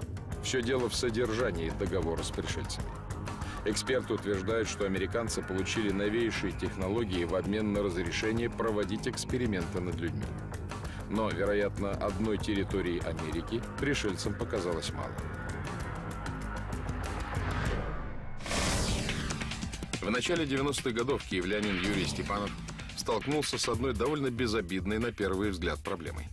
Однако он представить себе не мог, к чему его приведут поиски ее решения. В то время моему сыну было три года, и начали замечать, что мой ребенок боится спать один, без света. И даже если э, ребенок засыпал при взрослых, он мог среди ночи проснуться и в страхе прибегал из своей комнаты. И вот э, я начал эту ситуацию разбираться с ней, эм, что происходит, начал обращаться к эзотерикам, начал искать литературу на эту тему. Исследование этой типичной ситуации привело к неожиданным результатам. Когда сын Юрия стал чуть взрослее, он смог нарисовать свои страхи. Но тут уже холодный ужас сковал его отца. На первом рисунке был изображен гуманоид. Особенность этого гуманоида было то, что у него были черные большие глаза, без зрачков, рот щелкой, черты лица не выражены. На второй картинке мой ребенок лежит на операционном столе с одной опоры. Над ним склонились два гуманоида. Э, к его телу тянется несколько шлангов. Один такой толстый, гофрированный – другие потоньше. Это то, что осталось в воспоминаниях моего ребенка и то, что он рассказывал в процессе зарисовки. Где маленький ребенок мог увидеть подобное? Юрию Степанову оставалось предположить только одно. Его собственный сын действительно был похищен некими существами. Что они делали с ним? Физическое здоровье мальчика было в порядке. Но как этот опыт скажется в будущем на его психике? Дело в том, что у описанных событиях моим ребенком было продолжение. Э, были ситуации, когда он рассказывал о том, что он видит в квартире полупрозрачных сущностей. Вот. И эта ситуация начала меня волновать, и я начал что-то предпринимать, делать, чтобы выйти и помочь моему ребенку избавиться от тех страхов и той ситуации, которая возникла. Юрий Степанов изучал эзотерическую литературу и общался с исследователями аномальных явлений. В итоге он разработал для сына психотерапевтическую систему. Он разговаривал с ребенком и рассказывал об иных мирах, разных существах, и в итоге примирил сознание сына с его страшной сказкой. А позднее оказалось, что его мальчик был не одинок в своей беде, и система пригодилась многим. Юрий Степанов рассказывает, что к нему обращаются люди, которые описывают примерно одно и то же – похищение пилотами НЛО. Они даже не совсем понимают, что происходит, потому что в те мгновения, когда происходит похищение, что они чувствуют, так это потерю контроля над своим телом, как я уже говорил. И первое, с кем они сталкиваются, это сталкиваются с биороботами. И биороботы обычно их припровождают в, непосредственно в НЛО, где дальше уже с ним происходит непосредственное событие. Как правило, в НЛО находится тот гуманоид, который принимает решение, что дальше с человеком делать. Он либо общается, либо принимает решение о том, чтобы забрать пленника или там, отключить ему сознание. Многие потерпевшие описывали медицинские опыты, которые якобы проводили с ними странные существа. По мнению Юрия Степанова, все эти рассказы часто оказываются правдой. Поделать с этим ничего нельзя. Однако можно снять негативные воспоминания и подсознательную травму, чем и занялся психолог. События, которые произошли с моим сыном, определенным образом промотивировали меня в определенном развитии себя. Имея два высших технических образования, я начал э, интересоваться эзотерикой, за, начался, начал э, заниматься своим духовным развитием. И во, во мне определенным образом проявились некоторые способности. По словам Юрия Степанова, он работает как экстрасенс и с помощью шестого чувства позволяет пострадавшему самому справиться с пережитым ужасом. И таким образом у человека открываются сверхспособности. Ясновидение, ясночувствование, яснознание. А у некоторых открывается и телепатический канал.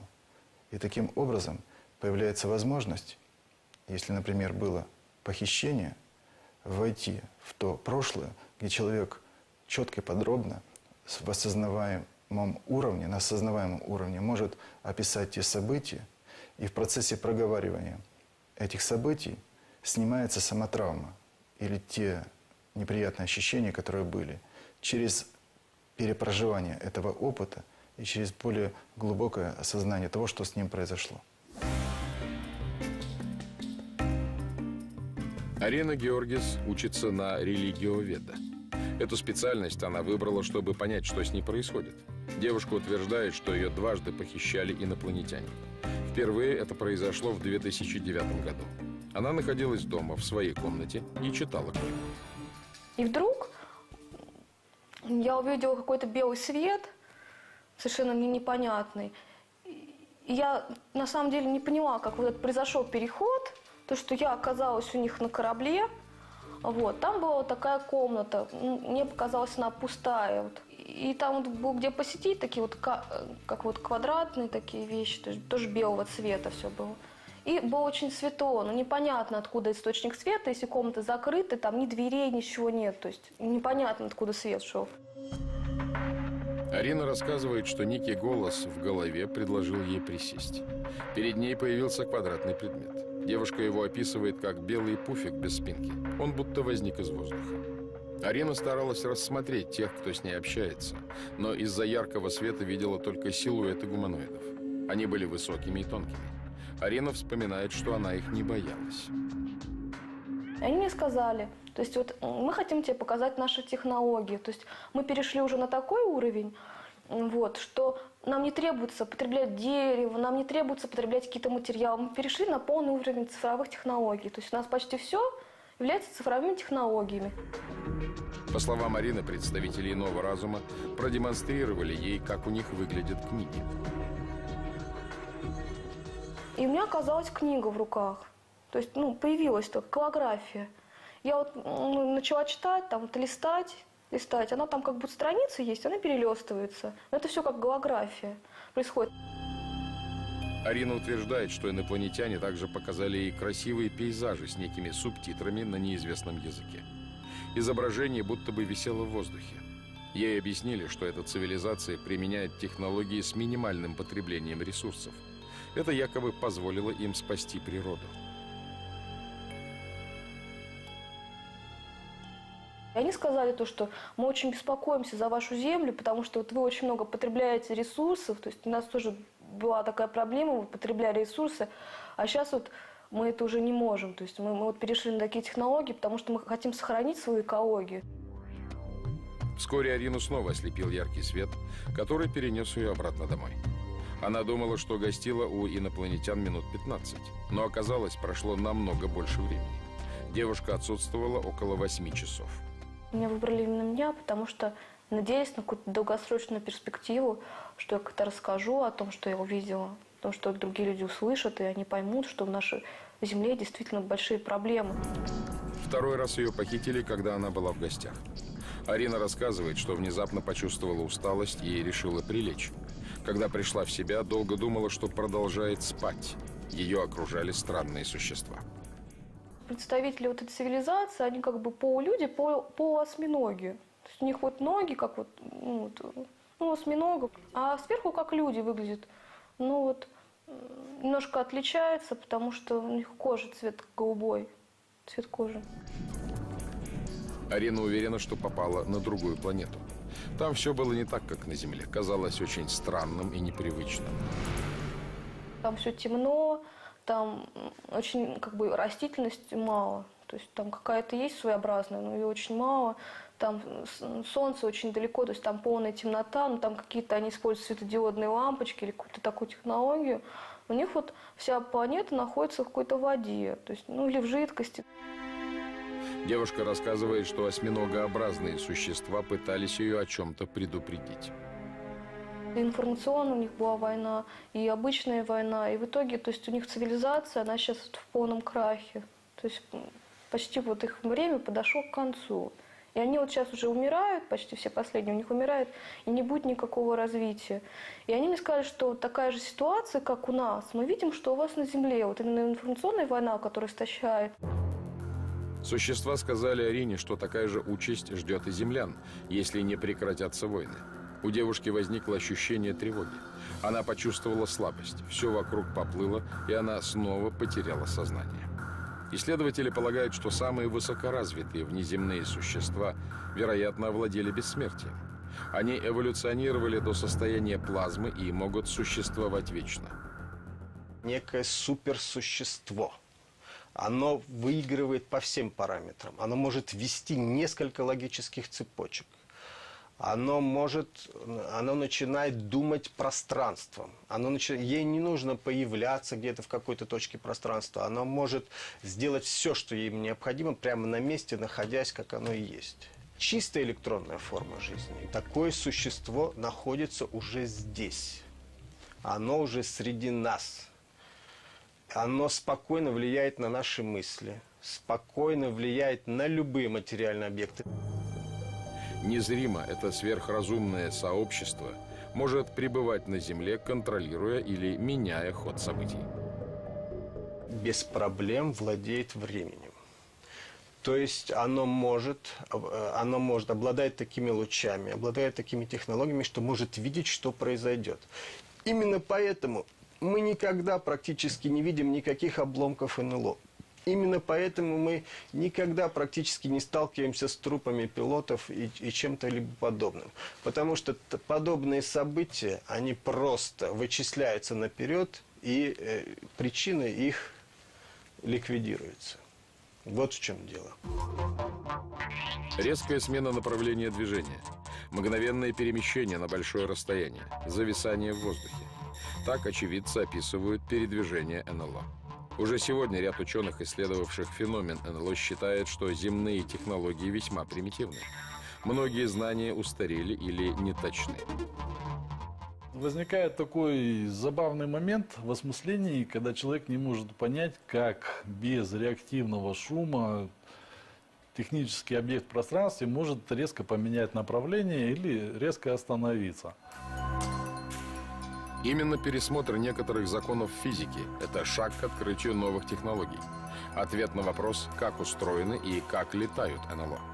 Некоторые эксперты полагают, что следует по-иному взглянуть на суть гравитации. Непосредственно по той же схеме яблоко может сменить направление. Если предположить, что на падающее яблоко будет воздействовать некое дополнительное поле, которое расположено сбоку, яблоко может поменять свою траекторию движения, начать двигаться в эту сторону. Также на том же принципе яблоко может остановиться, вплоть до моментальной остановки. Речь о полях, имеющих необычайно большой потенциал. Гравитационные поля – это самая большая физическая сила, которая существует в природе. Каждое тело в галактике, а не только планета с железным ядром, имеет свое гравитационное поле, утверждает физик Виктор Катющик. Поля пересекаются. Именно умение использовать их взаимную силу открывает новые возможности, которые, вероятно, известны иным цивилизациям. Также возможно, что корабли чужих создают собственные гравитационные поля. То есть окруженное гравитационным полем тело может бесконфликтно перемещаться через атмосферу. Мы не увидим горение этого самого тела в атмосфере. Оно может проникать в воду, не останавливаясь, не получая удара, поскольку взаимодействие происходит на базовом уровне поля. И нет принципиальных ограничений по перемещению тела через твердые породы, как это фантастически не звучит. То есть окруженное полем тело может проникать под земную твердь сквозь горные породы. Именно защитное гравитационное поле, объясняет физик Виктор Катющик, позволяет пришельцам устраивать базы, например, на дне океана. Возможно, оно уберегает пассажиров инопланетных кораблей от перегрузок при скачкообразных движениях аппарата. Кроме того, работа с гравитационным полем, как утверждает ученый, позволила инопланетянам получить постоянный легкий доступ к энергии. Корабль может зарядить двигатели в любой точке пространства. Вам не надо производить какие-то работы по доставке энергоресурса непосредственно к техническому устройству. Где бы вы ни находились, в каждой точке пространства присутствует гравитационное поле, вы это поле можете использовать, вы можете прямо из этого поля черпать энергию. О какой энергии идет речь? Физик Альберт Красов пришел к заключению, что это так называемая энергия эфира. Считается, что эфир – это среда, заполняющая все мировое пространство и ответственная за любые взаимодействия волн и тел и все физические явления. Есть версия, что Никола Тесла знал секрет выделения энергии из эфира. Лукреций, например, считал, что это мельчайшие частицы, из которых состоят звезды и все остальное. Вот. Более-менее прагматично к этому уже подошел Декарт. То есть он понял, что это среда с определенными свойствами, которые необходимо серьезно изучать. В свое время теория эфира была отвергнута современными учеными. Сегодня исследователи начинают ею интересоваться вновь, хотя она противоречит некоторым общепринятым законам физики. Закон сохранения энергии работает, если пространство замкнутое. А если есть эфир, если есть среда, тем более, как сейчас уже выяснилось, очень энергонасыщенная, если есть среда для передачи какой-либо энергии, тогда закон сохранения энергии – это просто профанация. Это просто как э, схема, удобная для расчетов, не более того. Альберт Красов внимательно следит за научными исследованиями. Он называет теорию эфира истинным учением, которое объясняет открытие последних лет. Ученые столкнулись с тем, что э, из пространства начинают возникать частицы. при столкновении частиц или разрушении частиц. Это нужно было как-то объяснять. Э, теперь сейчас еще введена теория Хиггса, бозона, бозона Хиггса. Соответственно, уже появились частицы в, э, в пространстве, в физическом вакууме появились частицы. Теперь еще выясняется, что эти частицы состоят из других частиц. То есть шаг за шагом мы возвращаемся к тому, что было заложено в этих первоначальных теориях. Когда же секретные технологии НЛО станут доступны людям? Возможно, это произойдет скоро. Физики Эмиль Бекташев и Павел Лавриненко много лет работают над разгадкой секретных технологий НЛО. Они утверждают, что стоят на пороге открытия.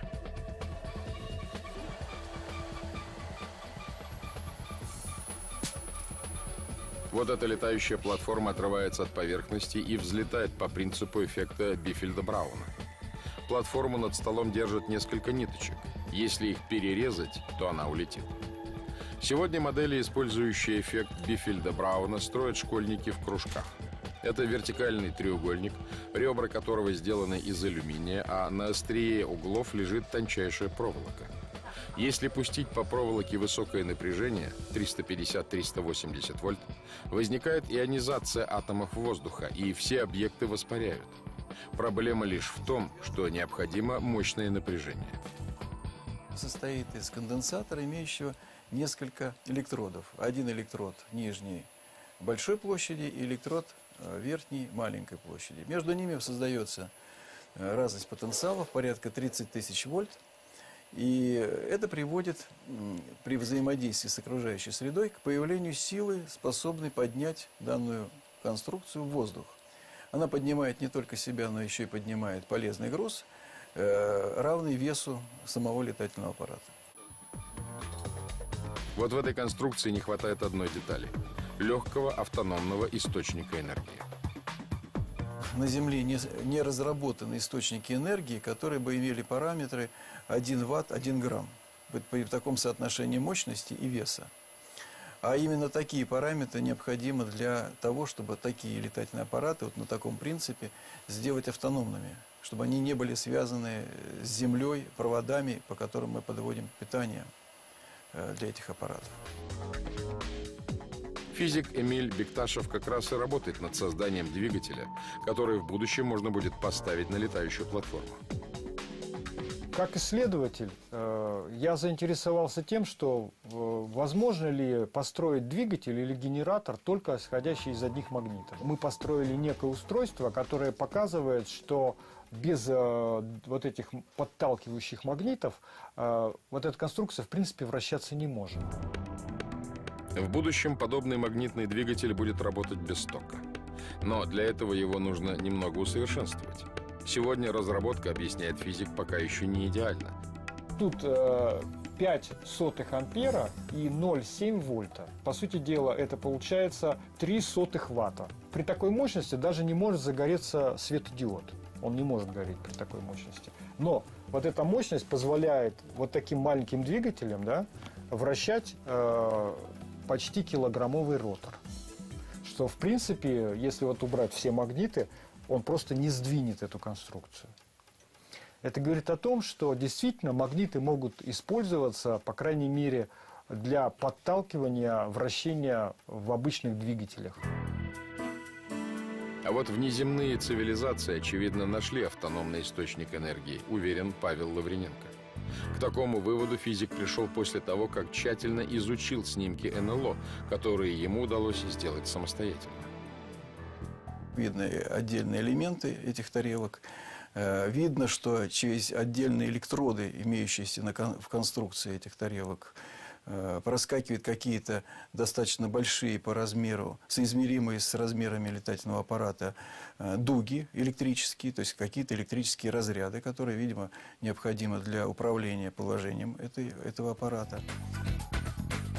Исследователь изучил облака вокруг летательного аппарата на своем фотоснимке имеются некие разрывы пространства, которые видны на фотографиях, как разрез э, отдельных облаков в некоторых плоскостях э, в районе этого летательного аппарата. То есть такое, э, так сказать, складывается впечатление, что э, некое пространство как бы или сжимается, или разжимается. Часть облаков справа не стыкуется по изображению слева. Причем разрез по прямой линии, как будто вот две фотографии разрезаются ножницами и склеиваются рядом. Если с помощью обычной фототехники сделать снимок движущегося автомобиля, то изображение будет смазанным. А вот НЛО на фото выходит иначе. Скорее всего, у него иной способ передвижения. Исследователь полагает, что тарелки передвигаются на тысячи километров, сжимая впереди себя пространство. Мы ее фотографируем, и на фотографии она оказывается без, почти что неподвижной. Значит, объяснить это только можно тем, что эти объекты перемещаются скачкообразно. И в каждый момент времени, когда мы ее фиксируем на э, фотоаппарат, мы фиксируем в каком-то определенном положении этот объект в пространстве, не фиксируя промежуточные состояния. Военные по-прежнему фиксируют в сутки около тысячи случаев появления НЛО в ближнем космосе и воздушном пространстве Земли. Астрономы видят, как на Луне паркуются гигантские корабли. Жители аномальных зон привыкли к пролетам летающих тарелок. Правительство засекречивает всю подобную информацию, а наука продолжает искать естественное объяснение. Хотя самая простая версия – это не наши аппараты в небе, чужие корабли на Луне и иные формы жизни ведут вокруг активную деятельность. Люди так привыкли ощущать себя хозяевами этой планеты, что не могут допустить и мысли, что не одни в собственном доме. Это слишком страшно задуматься, кто же реально чужой на Земле. И страх пока не дает нам двигаться дальше. Как спецслужбы связаны с проблемой НЛО? Мы получили доступ к тысячам страниц секретных документов. Какие страны имеют секретные технологии в авиации? Четыре страны в мире способны имитировать пролеты межпланетных вот этих э, аппаратов космических. Почему скрывается правда о неопознанных объектах? Мы больше не нуждались в фармацевтических компаниях, нефтяных компаниях, больших корпорациях, банках. Вы видите уникальные кадры. Этот неопознанный летающий объект был снят на видео 19 августа 2013 года американским астронавтом Крисом Кэссиди вблизи Международной космической станции. После съемки Кэссиди сообщил об увиденном в Центр управления полетами НАСА в Хьюстоне. И это далеко не первый случай наблюдения НЛО астронавтами и космонавтами. Что касается неопознанных объектов, конечно, наблюдали это, естественно, э, неопознанный летающий объект. То есть э, какой-то летит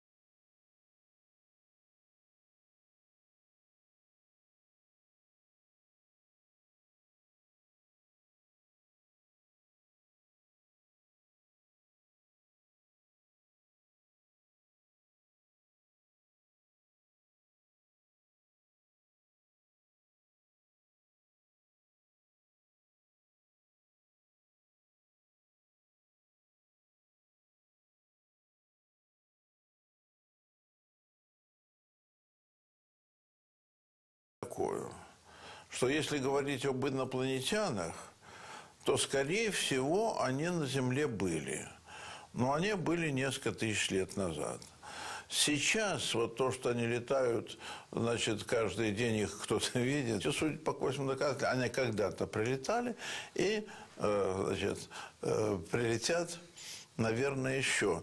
И все же, несмотря на изобилие видеосъемок, фотографий и даже картин, написанных столетия назад, правда о том, что такое НЛО, продолжает оставаться тайной. 500 лет назад загадочные огни и странные объекты в небе было принято объяснять сверхъестественными причинами. что э, есть, скажем, вот старинная э, картина 1484 года известного художника Кривелли. Я ее увидел э, в музее Англии и попросил дать мне репродукцию. Э, там нарисована летающая тарелка. Я-то считал, что тарелки – это только самолеты, ракеты, вертолеты там и прочие наши дела. Но в 1484 году не было такой техники в небе а тарелка нарисована. Неужели сегодня, в эпоху спутникового слежения и камер высокой четкости, никто не знает, что это за объект? Или кому-то выгодно замалчивать истину? Больше половины людей на Земле считает, что правительства мировых держав скрывают информацию об НЛО. Это мнение основано на многочисленных наблюдениях летающих тарелок. Кроме того, в прессу просачиваются сенсационные откровения военных и ученых, якобы принимавших участие в секретных программах, связанных с инопланетянами. Интерес к НЛО этих двух категорий лиц понятен. Он в их компетенции. Но есть и обычные люди, утверждающие, что видели или даже общались с пришельцами. Американка Шерри Уальд называет себя экстрасенсом и уверяет, что регулярно выходит на контакт с представителями внеземных цивилизаций. А всю жизнь я контактировала с существами, жителями других измерений. По словам этой женщины, все происходит так, как описывают художественные и документальные фильмы. Яркий свет в окно, белый луч, который переносит ее на космический корабль. Но некоторые встречи запомнились ей особенно. Мне было около восьми или девяти лет, и меня подняли на поверхность планеты и показали разрушение Земли. Это было, как оказалось, точнее, как я теперь понимаю, цунами. И это очень четко выделялось среди прочего у меня в голове. Шерри Уайлд рассказывает, что существа, которых она встречает на корабле, общаются с ней в основном телепатически. Есть несколько различных способов их общения. Иногда я слышу голос у себя в голове, когда я с ними. Это телепатия. Но этот голос имеет очень четкое звучание. Как что-то все равно, что мы сейчас разговариваем с вами, и я слышу ваш голос. Есть и более спокойный способ нашего общения. Это сложно описать, но ощущение, как будто я слышу мысли, скинутые мысли. Я называю их загрузками. Они делают что-то в этом роде, загружают информацию в мою голову. И кажется, что я это просто помню. По утверждению Шерри, происходящее с ней нельзя назвать обычным похищением. Экстрасенс считает, что Землю посещают разные пришельцы с добрыми и злыми намерениями. По ее словам, она общается с гуманными существами, причем чуть ли не на равных.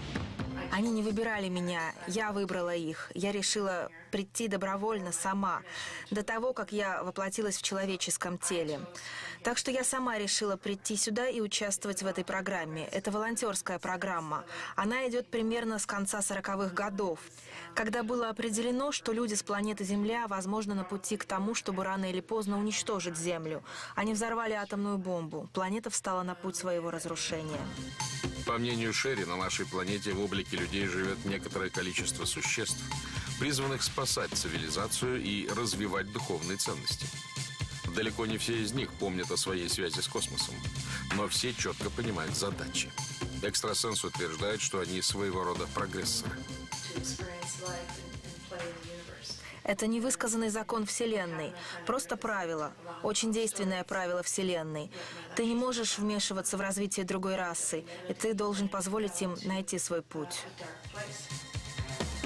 Однако Богом быть трудно, и не всегда удается убедить людей в своей правоте. Над этим феноменом много насмехаются, особенно в США. Большая часть Америки запрограммирована телевидением, шоу, СМИ смеяться над людьми, которые заявляют о своих связях с межпланетными существами. Так что люди смотрят на тебя как на сумасшедшую, за исключением тех, у кого был свой опыт. Или достаточно сознательными, чтобы понимать, что мы не одни во Вселенной. Но это связано с большим страхом, который вселили в людей, чтобы держать их под контролем.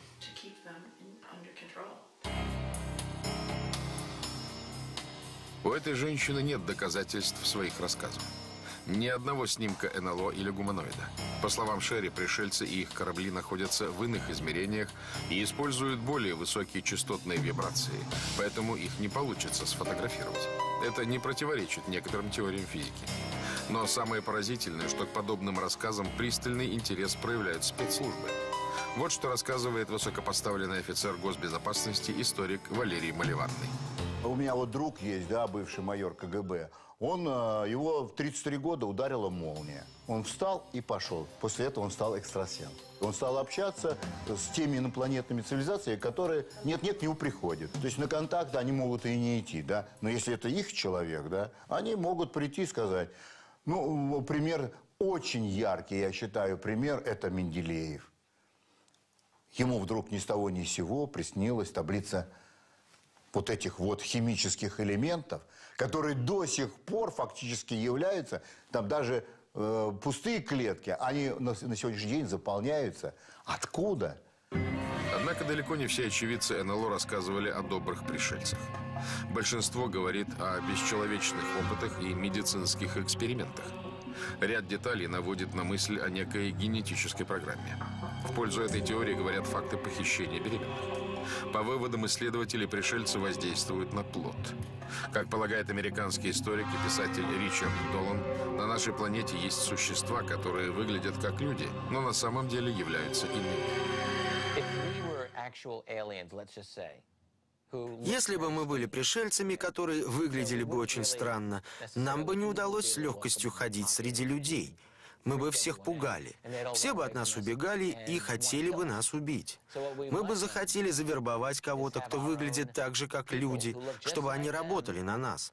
Можно было бы усовершенствовать их генетически, вставить в их мозг маленькие имплантанты, сделать их очень умными и похожими на других людей. Дело в том, что история очевидцев о таких людях огромное количество. По мнению целого ряда исследователей, все эти факты говорят только об одном. Пришельцы ведут длительную программу по изменению генетического кода людей в течение нескольких поколений.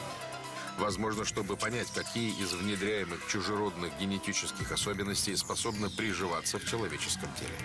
Американский эксперт по проблемам НЛО Стивен Бассет считает, что здесь и скрыта самая страшная истина. Согласно многим сообщениям, они пытаются создавать гибридные формы. У них невероятно продвинутая генетика. И это не должно никого удивлять, хотя наши возможности в генетике очень велики, по нашему мнению, а мы, по сути, только слезли с деревьев. И с учетом свидетельств о существовании гибридов, вопрос стоит именно так. Живут ли эти гибриды среди нас? Экстрасенс Шерри Уальд считает, что генетическую программу начали добрые пришельцы, чтобы спасти уникальные формы земной жизни в случае ядерной катастрофы. Гибридная программа, которая идет в основном с целью сохранить генетику, ДНК планеты живым, было решено использовать немного ДНК человека, интегрировать его и продолжить человеческий род. Так что мы создаем жизнь и осеменяем планеты. Это то, чем мы занимаемся, чтобы продолжить ДНК человека.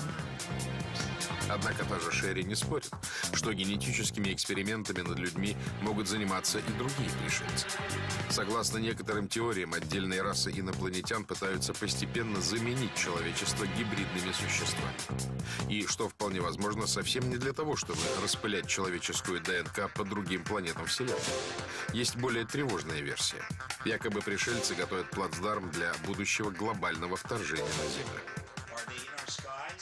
Они есть в нашем небе? Конечно. Приземлялись они? Естественно. Есть ли у них большие корабли, на которых базируются тарелки? Вполне вероятно, эти большие корабли уже видели. Есть у них базы.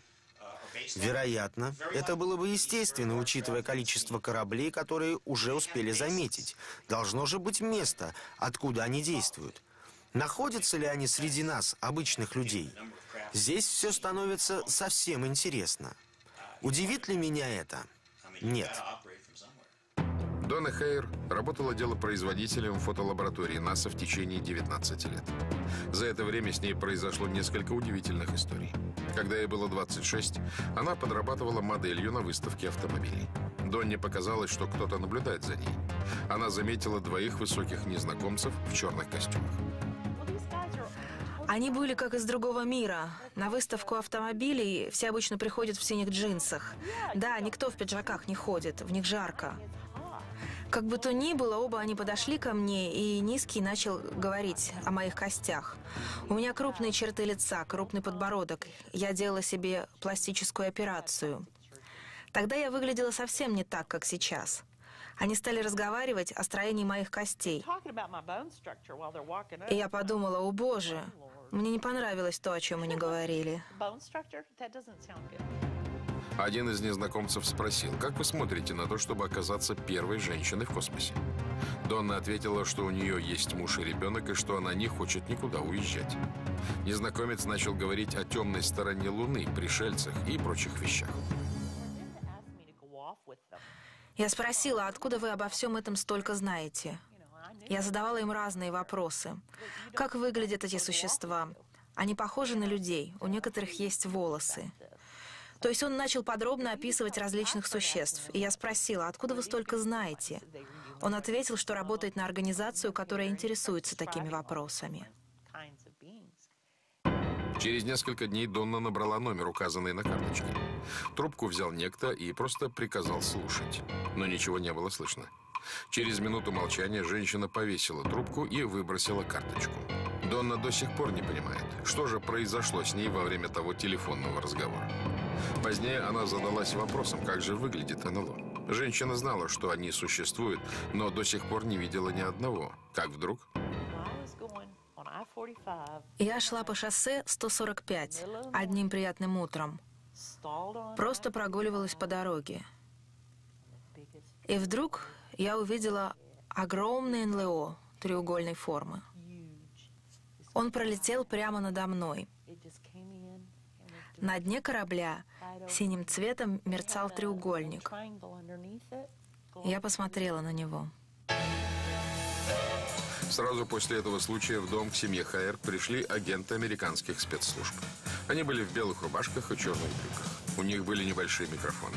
Дона начала их фотографировать, и они сразу же ушли. Они зашли в дом и очень вежливо попросили меня никому не рассказывать о том, что я видела. Мой муж в то время в гараже чинил наш автомобиль. В общем, из гаража доносились громкие звуки. Двое мужчин сели на диван, и я сказала им, он строит НЛО в гараже. Они подскочили и собрались направиться туда. Я сказала, ребята, я пошутила, вы думаете, построить НЛО так просто?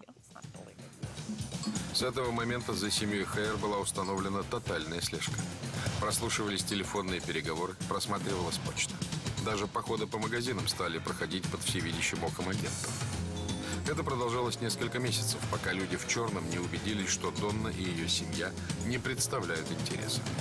Неужели подтверждаются самые смелые догадки журналистов и независимых исследователей, будто чужие не только спокойно имеют на территории многих стран базы, где занимаются своими делами, но еще и находятся под крылом спецслужб? Этот вопрос – самый засекреченный вопрос военной разведки. Более секретной информации не существует. И правительство не скажет нам ничего, если оно не хочет, чтобы мы это знали. Но если это так, почему же те, кого считают инопланетянами, чувствуют себя на нашей планете столь вольготно? Может ли быть так, что они-то как раз коренные обитатели Земли? Ответ на этот вопрос можно найти в древних шумерских текстах и в Библии. По версии историка Александра Батта, те, кого мы назвали бы пришельцами, появились на нашей планете гораздо раньше нас. О Бенке говорится, что он напряг своего воображения и создал образ себе подобный в мысли своей, то есть похожий на него. А в Библии тоже написано, значит, э, что создадим человека по образу нашему и подобию нашему, Бог говорит. То есть человек был создан по образу э, вот этих богов или инопланетян, которые их создавали. Как предполагает историк, найти подтверждение этому факту в наше время достаточно легко. Люди создают подвижных роботов, похожих на себя. Две ноги, две руки. Такой же способ передвижения. Более того, роботов даже учат играть в футбол или хоккей. Поэтому вполне логично, что инопланетяне создавали бы нас по своему образу и подобию. Им нужно было лишь подобрать биологическое существо, похожее на них, и облагородить его. Опять же, и в Библии, и в мифах указывается, что человек был создан как помощник. То есть это была необходимость, не прихоть, не какое-то там стремление к чему-то, а, к научно-исследовательскому, а это была жесткая необходимость. И вот они возроптали, попросили главного бога создать э, им помощника или э, чем-то заменить. И вот этот бог Энки создал, значит, э, человека, подобного ему. То же самое говорится и в Библии. Как полагает Александр Бат, чтобы создать человека-помощника пришельцев, было необходимо подобрать особь из земной биологической среды. По одной из версий, этим существом стала обычная обезьяна. И доказательства этого содержатся в древних шумерских текстах.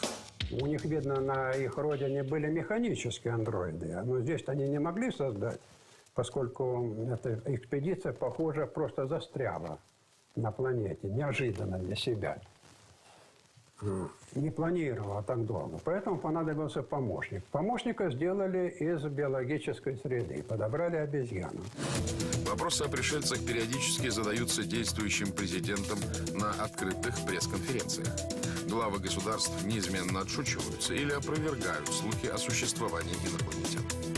Но в последнее время все больше высокопоставленных чиновников шокирует прессу рассказами о контактах с неопознанными летающими объектами. Бывший министр обороны Канады, вице-премьер правительства Пол Хелье сделал сенсационный доклад. В этом докладе о сокрытии фактов об НЛО он сказал. Секретность, вовлеченная во все дела, имеющие отношение к инциденту в Розвеле, не имела себе равных. Классификация была с самого начала сверхсовершенно секретна. И таким образом огромное большинство официальных лиц Соединенных Штатов Америки и политических деятелей стран-союзников, не говоря уже о простом министре обороны, никогда не были в курсе дела. По словам экс-министра обороны Канады, в 1961 году было обнаружено около 50 неопознанных летающих объектов, летевших со стороны России в Европу. Вдруг все объекты неожиданно изменили траекторию движения и направились к Северному полюсу. Верховное командование страны, по словам Пола Хелье, тогда провело расследование и установило, что как минимум четыре вида инопланетной жизни посещали Землю в течение нескольких тысяч лет. Еще в 2005 году Пол Хилье присоединился к трем неправительственным организациям, обратившихся к парламенту Канады с просьбой начать общественные слушания по теме экзополитики, отношений с внеземными цивилизациями. Под термином «инопланетяне» господин Хелье и эти организации подразумевают развитые внеземные цивилизации, которые в настоящее время могут посещать Землю. Более того, Пол Хелье предупредил мир о том, что вооруженные силы США разрабатывают оружие, которое могло бы использоваться против внеземных цивилизаций. Исполнительный директор исследовательской организации Paradigm Research Group Стивен Бассет полагает, что правительства всех стран мира и в особенности Соединенные Штаты Америки намеренно скрывают информацию об этом феномене. Я называю это запретом на правду. Почему запрет на правду, а не укрывательство? Потому что это политика правительства. Все было по закону. Укрывательство подразумевает беззаконие. Запрет на правду был установлен Соединенными Штатами и их союзниками. Укрывательство данных об НЛО принято называть интересами национальной безопасности. Именно так по этой версии оправдывали сокрытие информации о падении летающей тарелки в Розуэле в 1947 году и Вашингтонскую карусель 1952 года. По мнению Стивена Бассета, именно тогда, на рубеже 40-х и 50-х годов прошлого века, перед правительством США встала огромная проблема. Как утаить от своих граждан информацию о том, кто же все-таки летает у них над головами? В общественном месте взрывается инопланетный диск, и в США принимается решение самим Труманом, который находит поддержку у союзников, в 1947 году. Решение скрыть факты, которые они узнали об этом инопланетном явлении, и не признавать их до поры до времени. Как полагает Стивен Бассет, именно по этой причине в 1947 году президент США Гарри Труман создал сверхсекретную структуру по укрывательству фактов появления НЛО и аномальных явлений. Эту организацию назвали Majestic 12. Но кем являются эти 12 избранных? Похоже, у американского эксперта по проблемам НЛО Стивена Бассета есть ответ на этот вопрос. Он считает, что эта спецслужба работает и сегодня, хотя ее существование официально отрицается. МД-12 стало названием, применимым к любой группе или группам, перед которыми с 40-х годов стояла задача работать с этой проблемой в составе межведомственных комитетов. Я уверен, в большинстве случаев так и было, в условиях строгой секретности. С годами названия менялись, групп могло быть больше, кто знает. Но МД-12 стала символом таких правительственных групп. В последнее время рядом с проектом Majestic 12 стал упоминаться не менее секретный PI-40. Как полагает историк Виктор Бумагин, суть этого проекта – объединение всех секретных структур мира, которые занимаются изучением проблемы НЛО и аномальных явлений. Как стало известно Виктору Бумагину, в ведении этой организации более 20 проектов. И всех их курирует э, близкая к МГ-12 э, структура под названием PI-40. Причем эта структура, в общем-то, координирует не только американские, но и международные программы. А, ну, вот что касается международных аспектов э, сотрудничества в рамках программ, курируемых PI-40, ну, существует, например, такое утверждение, что в настоящее время четыре страны в мире способны имитировать пролеты межпланетных вот этих э, аппаратов космических. Это Соединенные Штаты, Россия, Австралия, Великобритания. Как рассказывает американский историк Ричард Долан, даже внутри этой засекреченной системы есть люди, которые готовы довести до мировой общественности всю правду о существовании внеземных цивилизаций. Более того, некоторые попытки довести информацию по проблемам НЛО до людей были успешно реализованы. Любые доклады военных и ученых об НЛО всегда автоматически приобретали гриф «секрет». Хотя в конце 1970-х годов в США был принят закон о свободном доступе к информации. Он позволил исследователям запрашивать в правительстве все ранее засекреченные документы о летающих тарелках.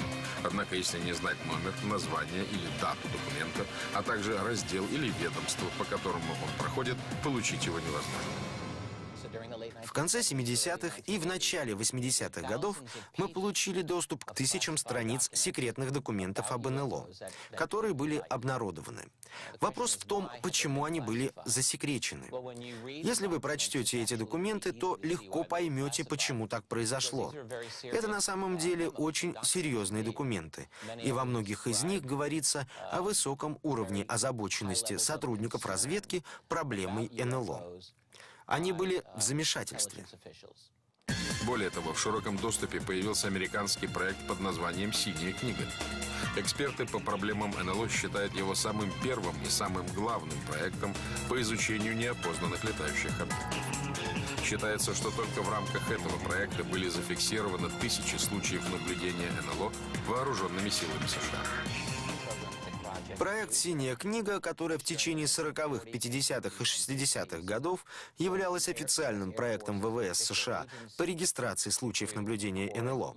Всего в «Синей книге» было более 12 тысяч сообщений, из которых о примерно 700 объектах было сказано, что они совершенно не поддаются идентификации. И это только в «Синей книге». За 22 года существования этого проекта американские военные получили более 12,5 тысяч письменных свидетельств об НЛО. Большая часть из них после тщательного анализа, по мнению сотрудников проекта, оказалась либо воздушными судами, либо какими-то атмосферными явлениями. Тем не менее, около 700 случаев так и остались необъяснимыми. Вполне возможно, что это были случаи наблюдения реальных, неопознанных летающих объектов. На самом деле, НЛО наблюдались повсеместно, как рядом с военными объектами, так и рядом с гражданскими. И нет такой страны, где бы их не видели.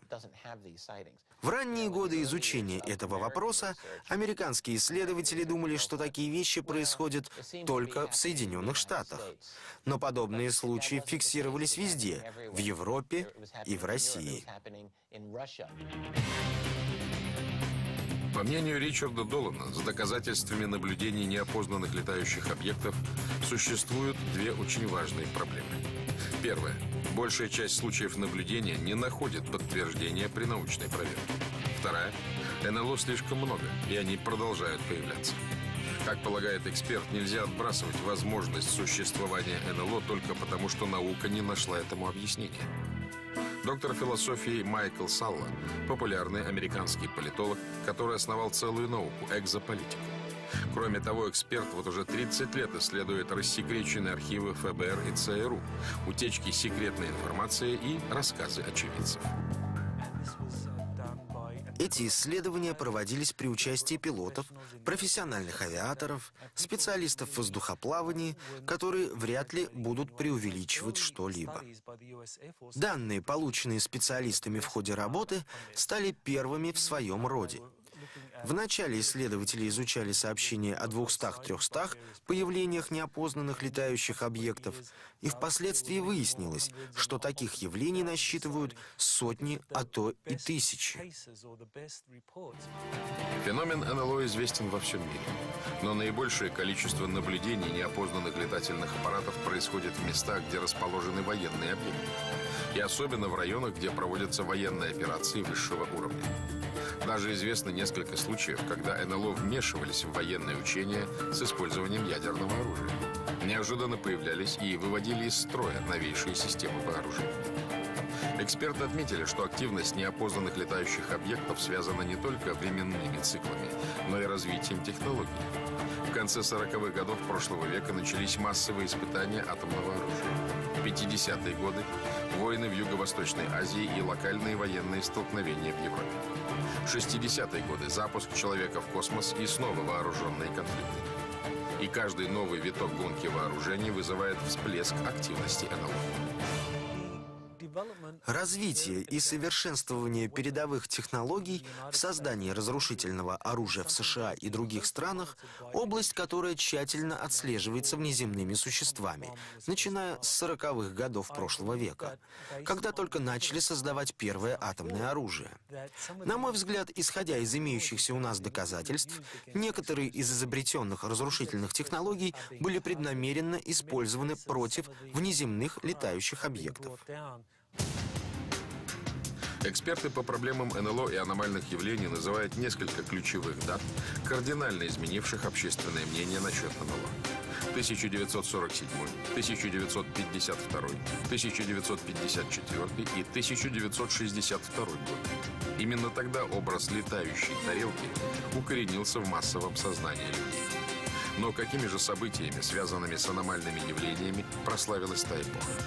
Падением серебристого диска в Розуэле, зловещими огнями в небе над Белым домом, слухами о самой первой встрече президента США Айзенхауэра с пришельцами и гибелью Джона Кеннеди, искавшего правду об НЛО.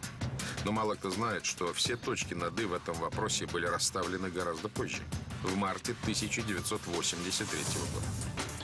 Именно тогда 40-й президент США Рональд Рейган объявил о создании проекта СОИ – стратегической оборонной инициативы, или, как его еще называют, «звездных войн». В СССР создание этой системы восприняли как новый этап холодной войны и очередной виток гонки вооружений, но, возможно, все было иначе.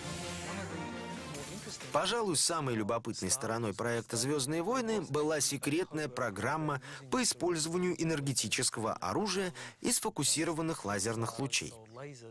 Они могли использоваться против инопланетных кораблей. Так, в Лонг-Айленде три инопланетных корабля были подбиты благодаря использованию такого оружия. Два из них были полностью разрушены, а третьему все-таки удалось скрыться. По данным Майкла Салла, пришельцы, оставшиеся в разрушенных кораблях, подлежали тщательному изучению секретными организациями, курирующими программу «Звездные войны». Как полагает Майкл Салла, это оружие разрабатывалось не столько для того, чтобы положить конец холодной войне, сколько для борьбы с инопланетянами. Но есть и другой мнение. Генерал-лейтенант в отставке Алексей Савин полагает, что программа «Звездных войн» была задумана как система управления мозговой деятельности всего человечества. Вот. Они считают земной шар своим, американцы и те, кто вот манипулирует этими учеными – вот. И они считают, что ну, все должно быть управляемо. И если они научатся вмешиваться в наш мозг, научатся э, управлять нашими мыслительными процессами, вплоть до привития вкусовых каких-то качеств, не говоря уже о физиологических каких-то вот вещах, которые очень-то легко изменить. А вот именно войти в мозг, заставить человека думать, как они хотят. Мало кто знает, что еще в 1940 году, за 7 лет до событий в Розуэле, возле немецкого городка Эссен, летчикам Люфтваффе удалось сбить неопознанный летающий объект с пришельцами на борту. В подтверждение этого факта совсем недавно в архивах 1940-х годов был обнаружен весьма любопытный документ за подписью заместителя Народного комиссара госбезопасности СССР Богдана Кабулова. В открытом доступе можно найти множество документов, рассекреченных в соответствии с законом об информации. Можно найти архивы, а также другие незаконно рассекреченные улики, подтверждающие реальность существования феномена НЛО и посещения Земли инопланетянами. Вот докладная на имя Иосифа Сталина. Пометки на полях подтверждают, что Сталин отнесся к этому документу очень внимательно. Работать над этой темой поручили тогда мало кому известному конструктору Сергею Павловичу Королеву, который в то время находился в заключении в московской спецтюрьме НКВД СССР. Королев ездил к Сталину, и был разговор на эту тему – он заинтересовался этим, и насколько это было возможно.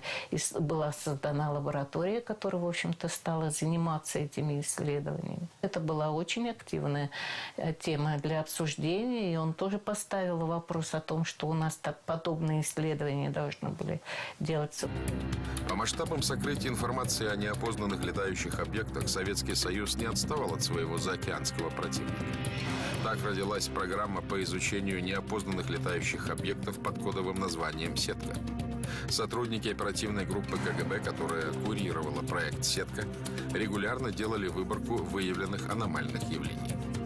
Вы понимаете, э, сокрытие, вот то, что происходит с феноменом НЛО, э, с одной стороны, психология человечества еще такова, что все новейшие достижения, которые были за этот период развития цивилизации, они все фактически шли на нужды э, военных, даже не самообороны, а более таких агрессивных направлений.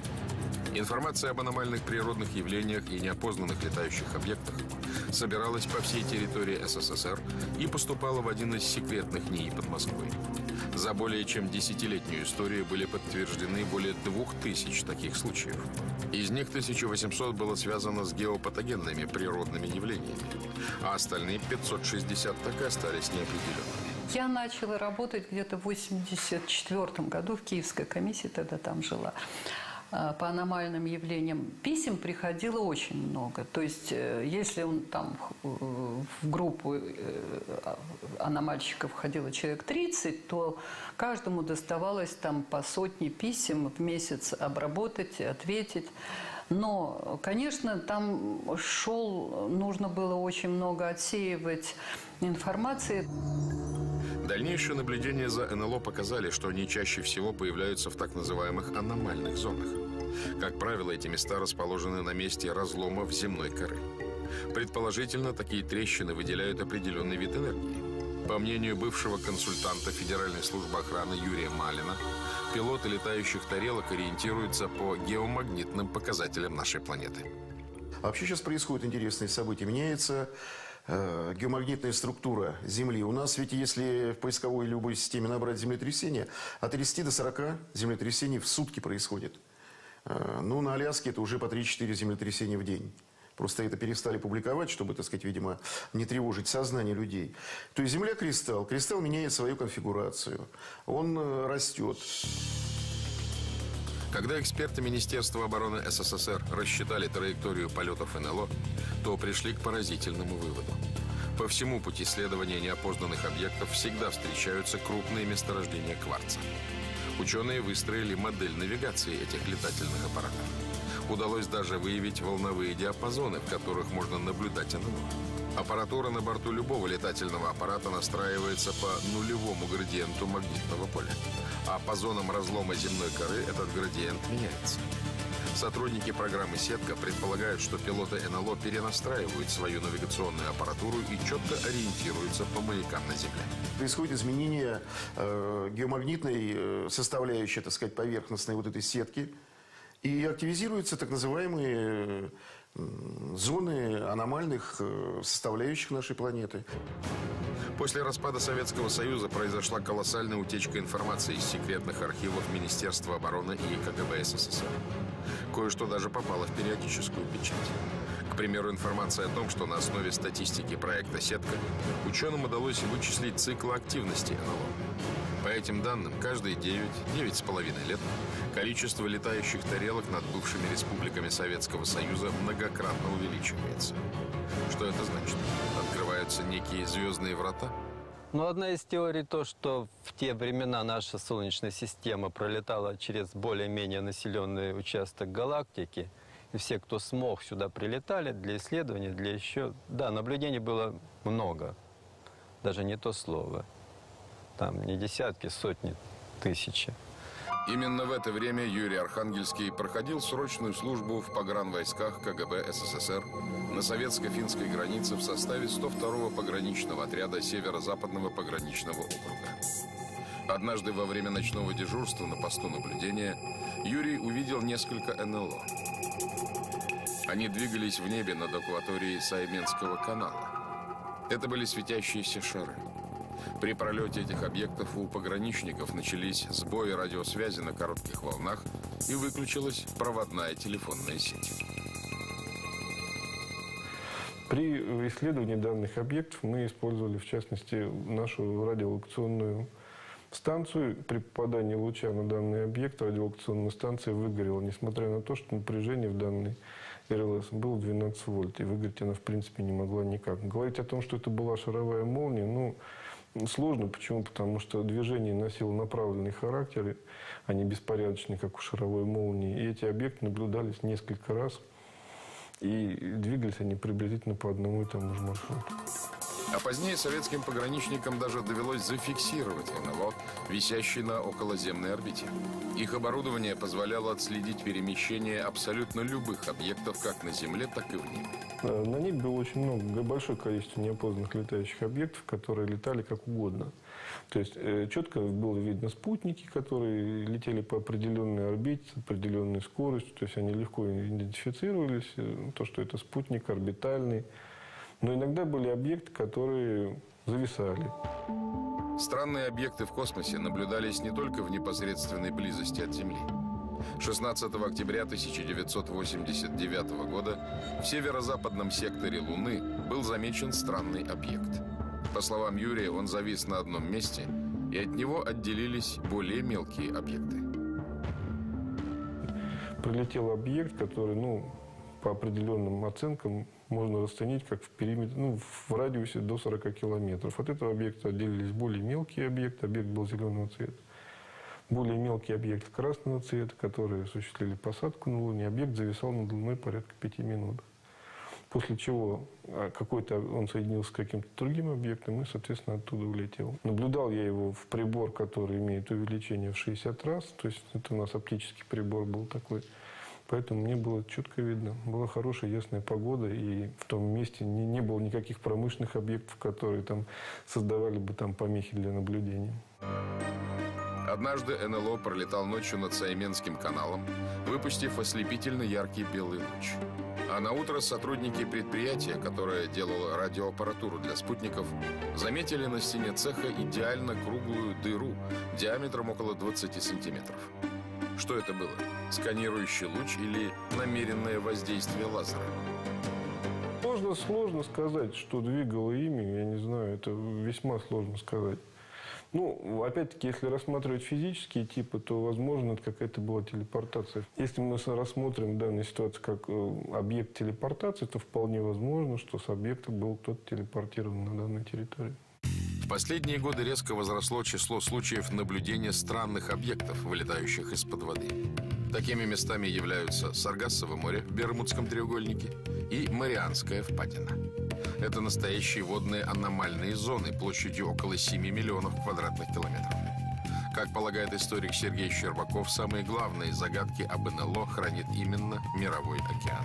Океан, как бы мы не, не изучали, он изучен плохо достаточно. То есть он хранит многие тайны, и до сих пор открытия там совершаются. Достаточно посмотреть там, всевозможные Animal Planet и прочее, прочее, и мы увидим.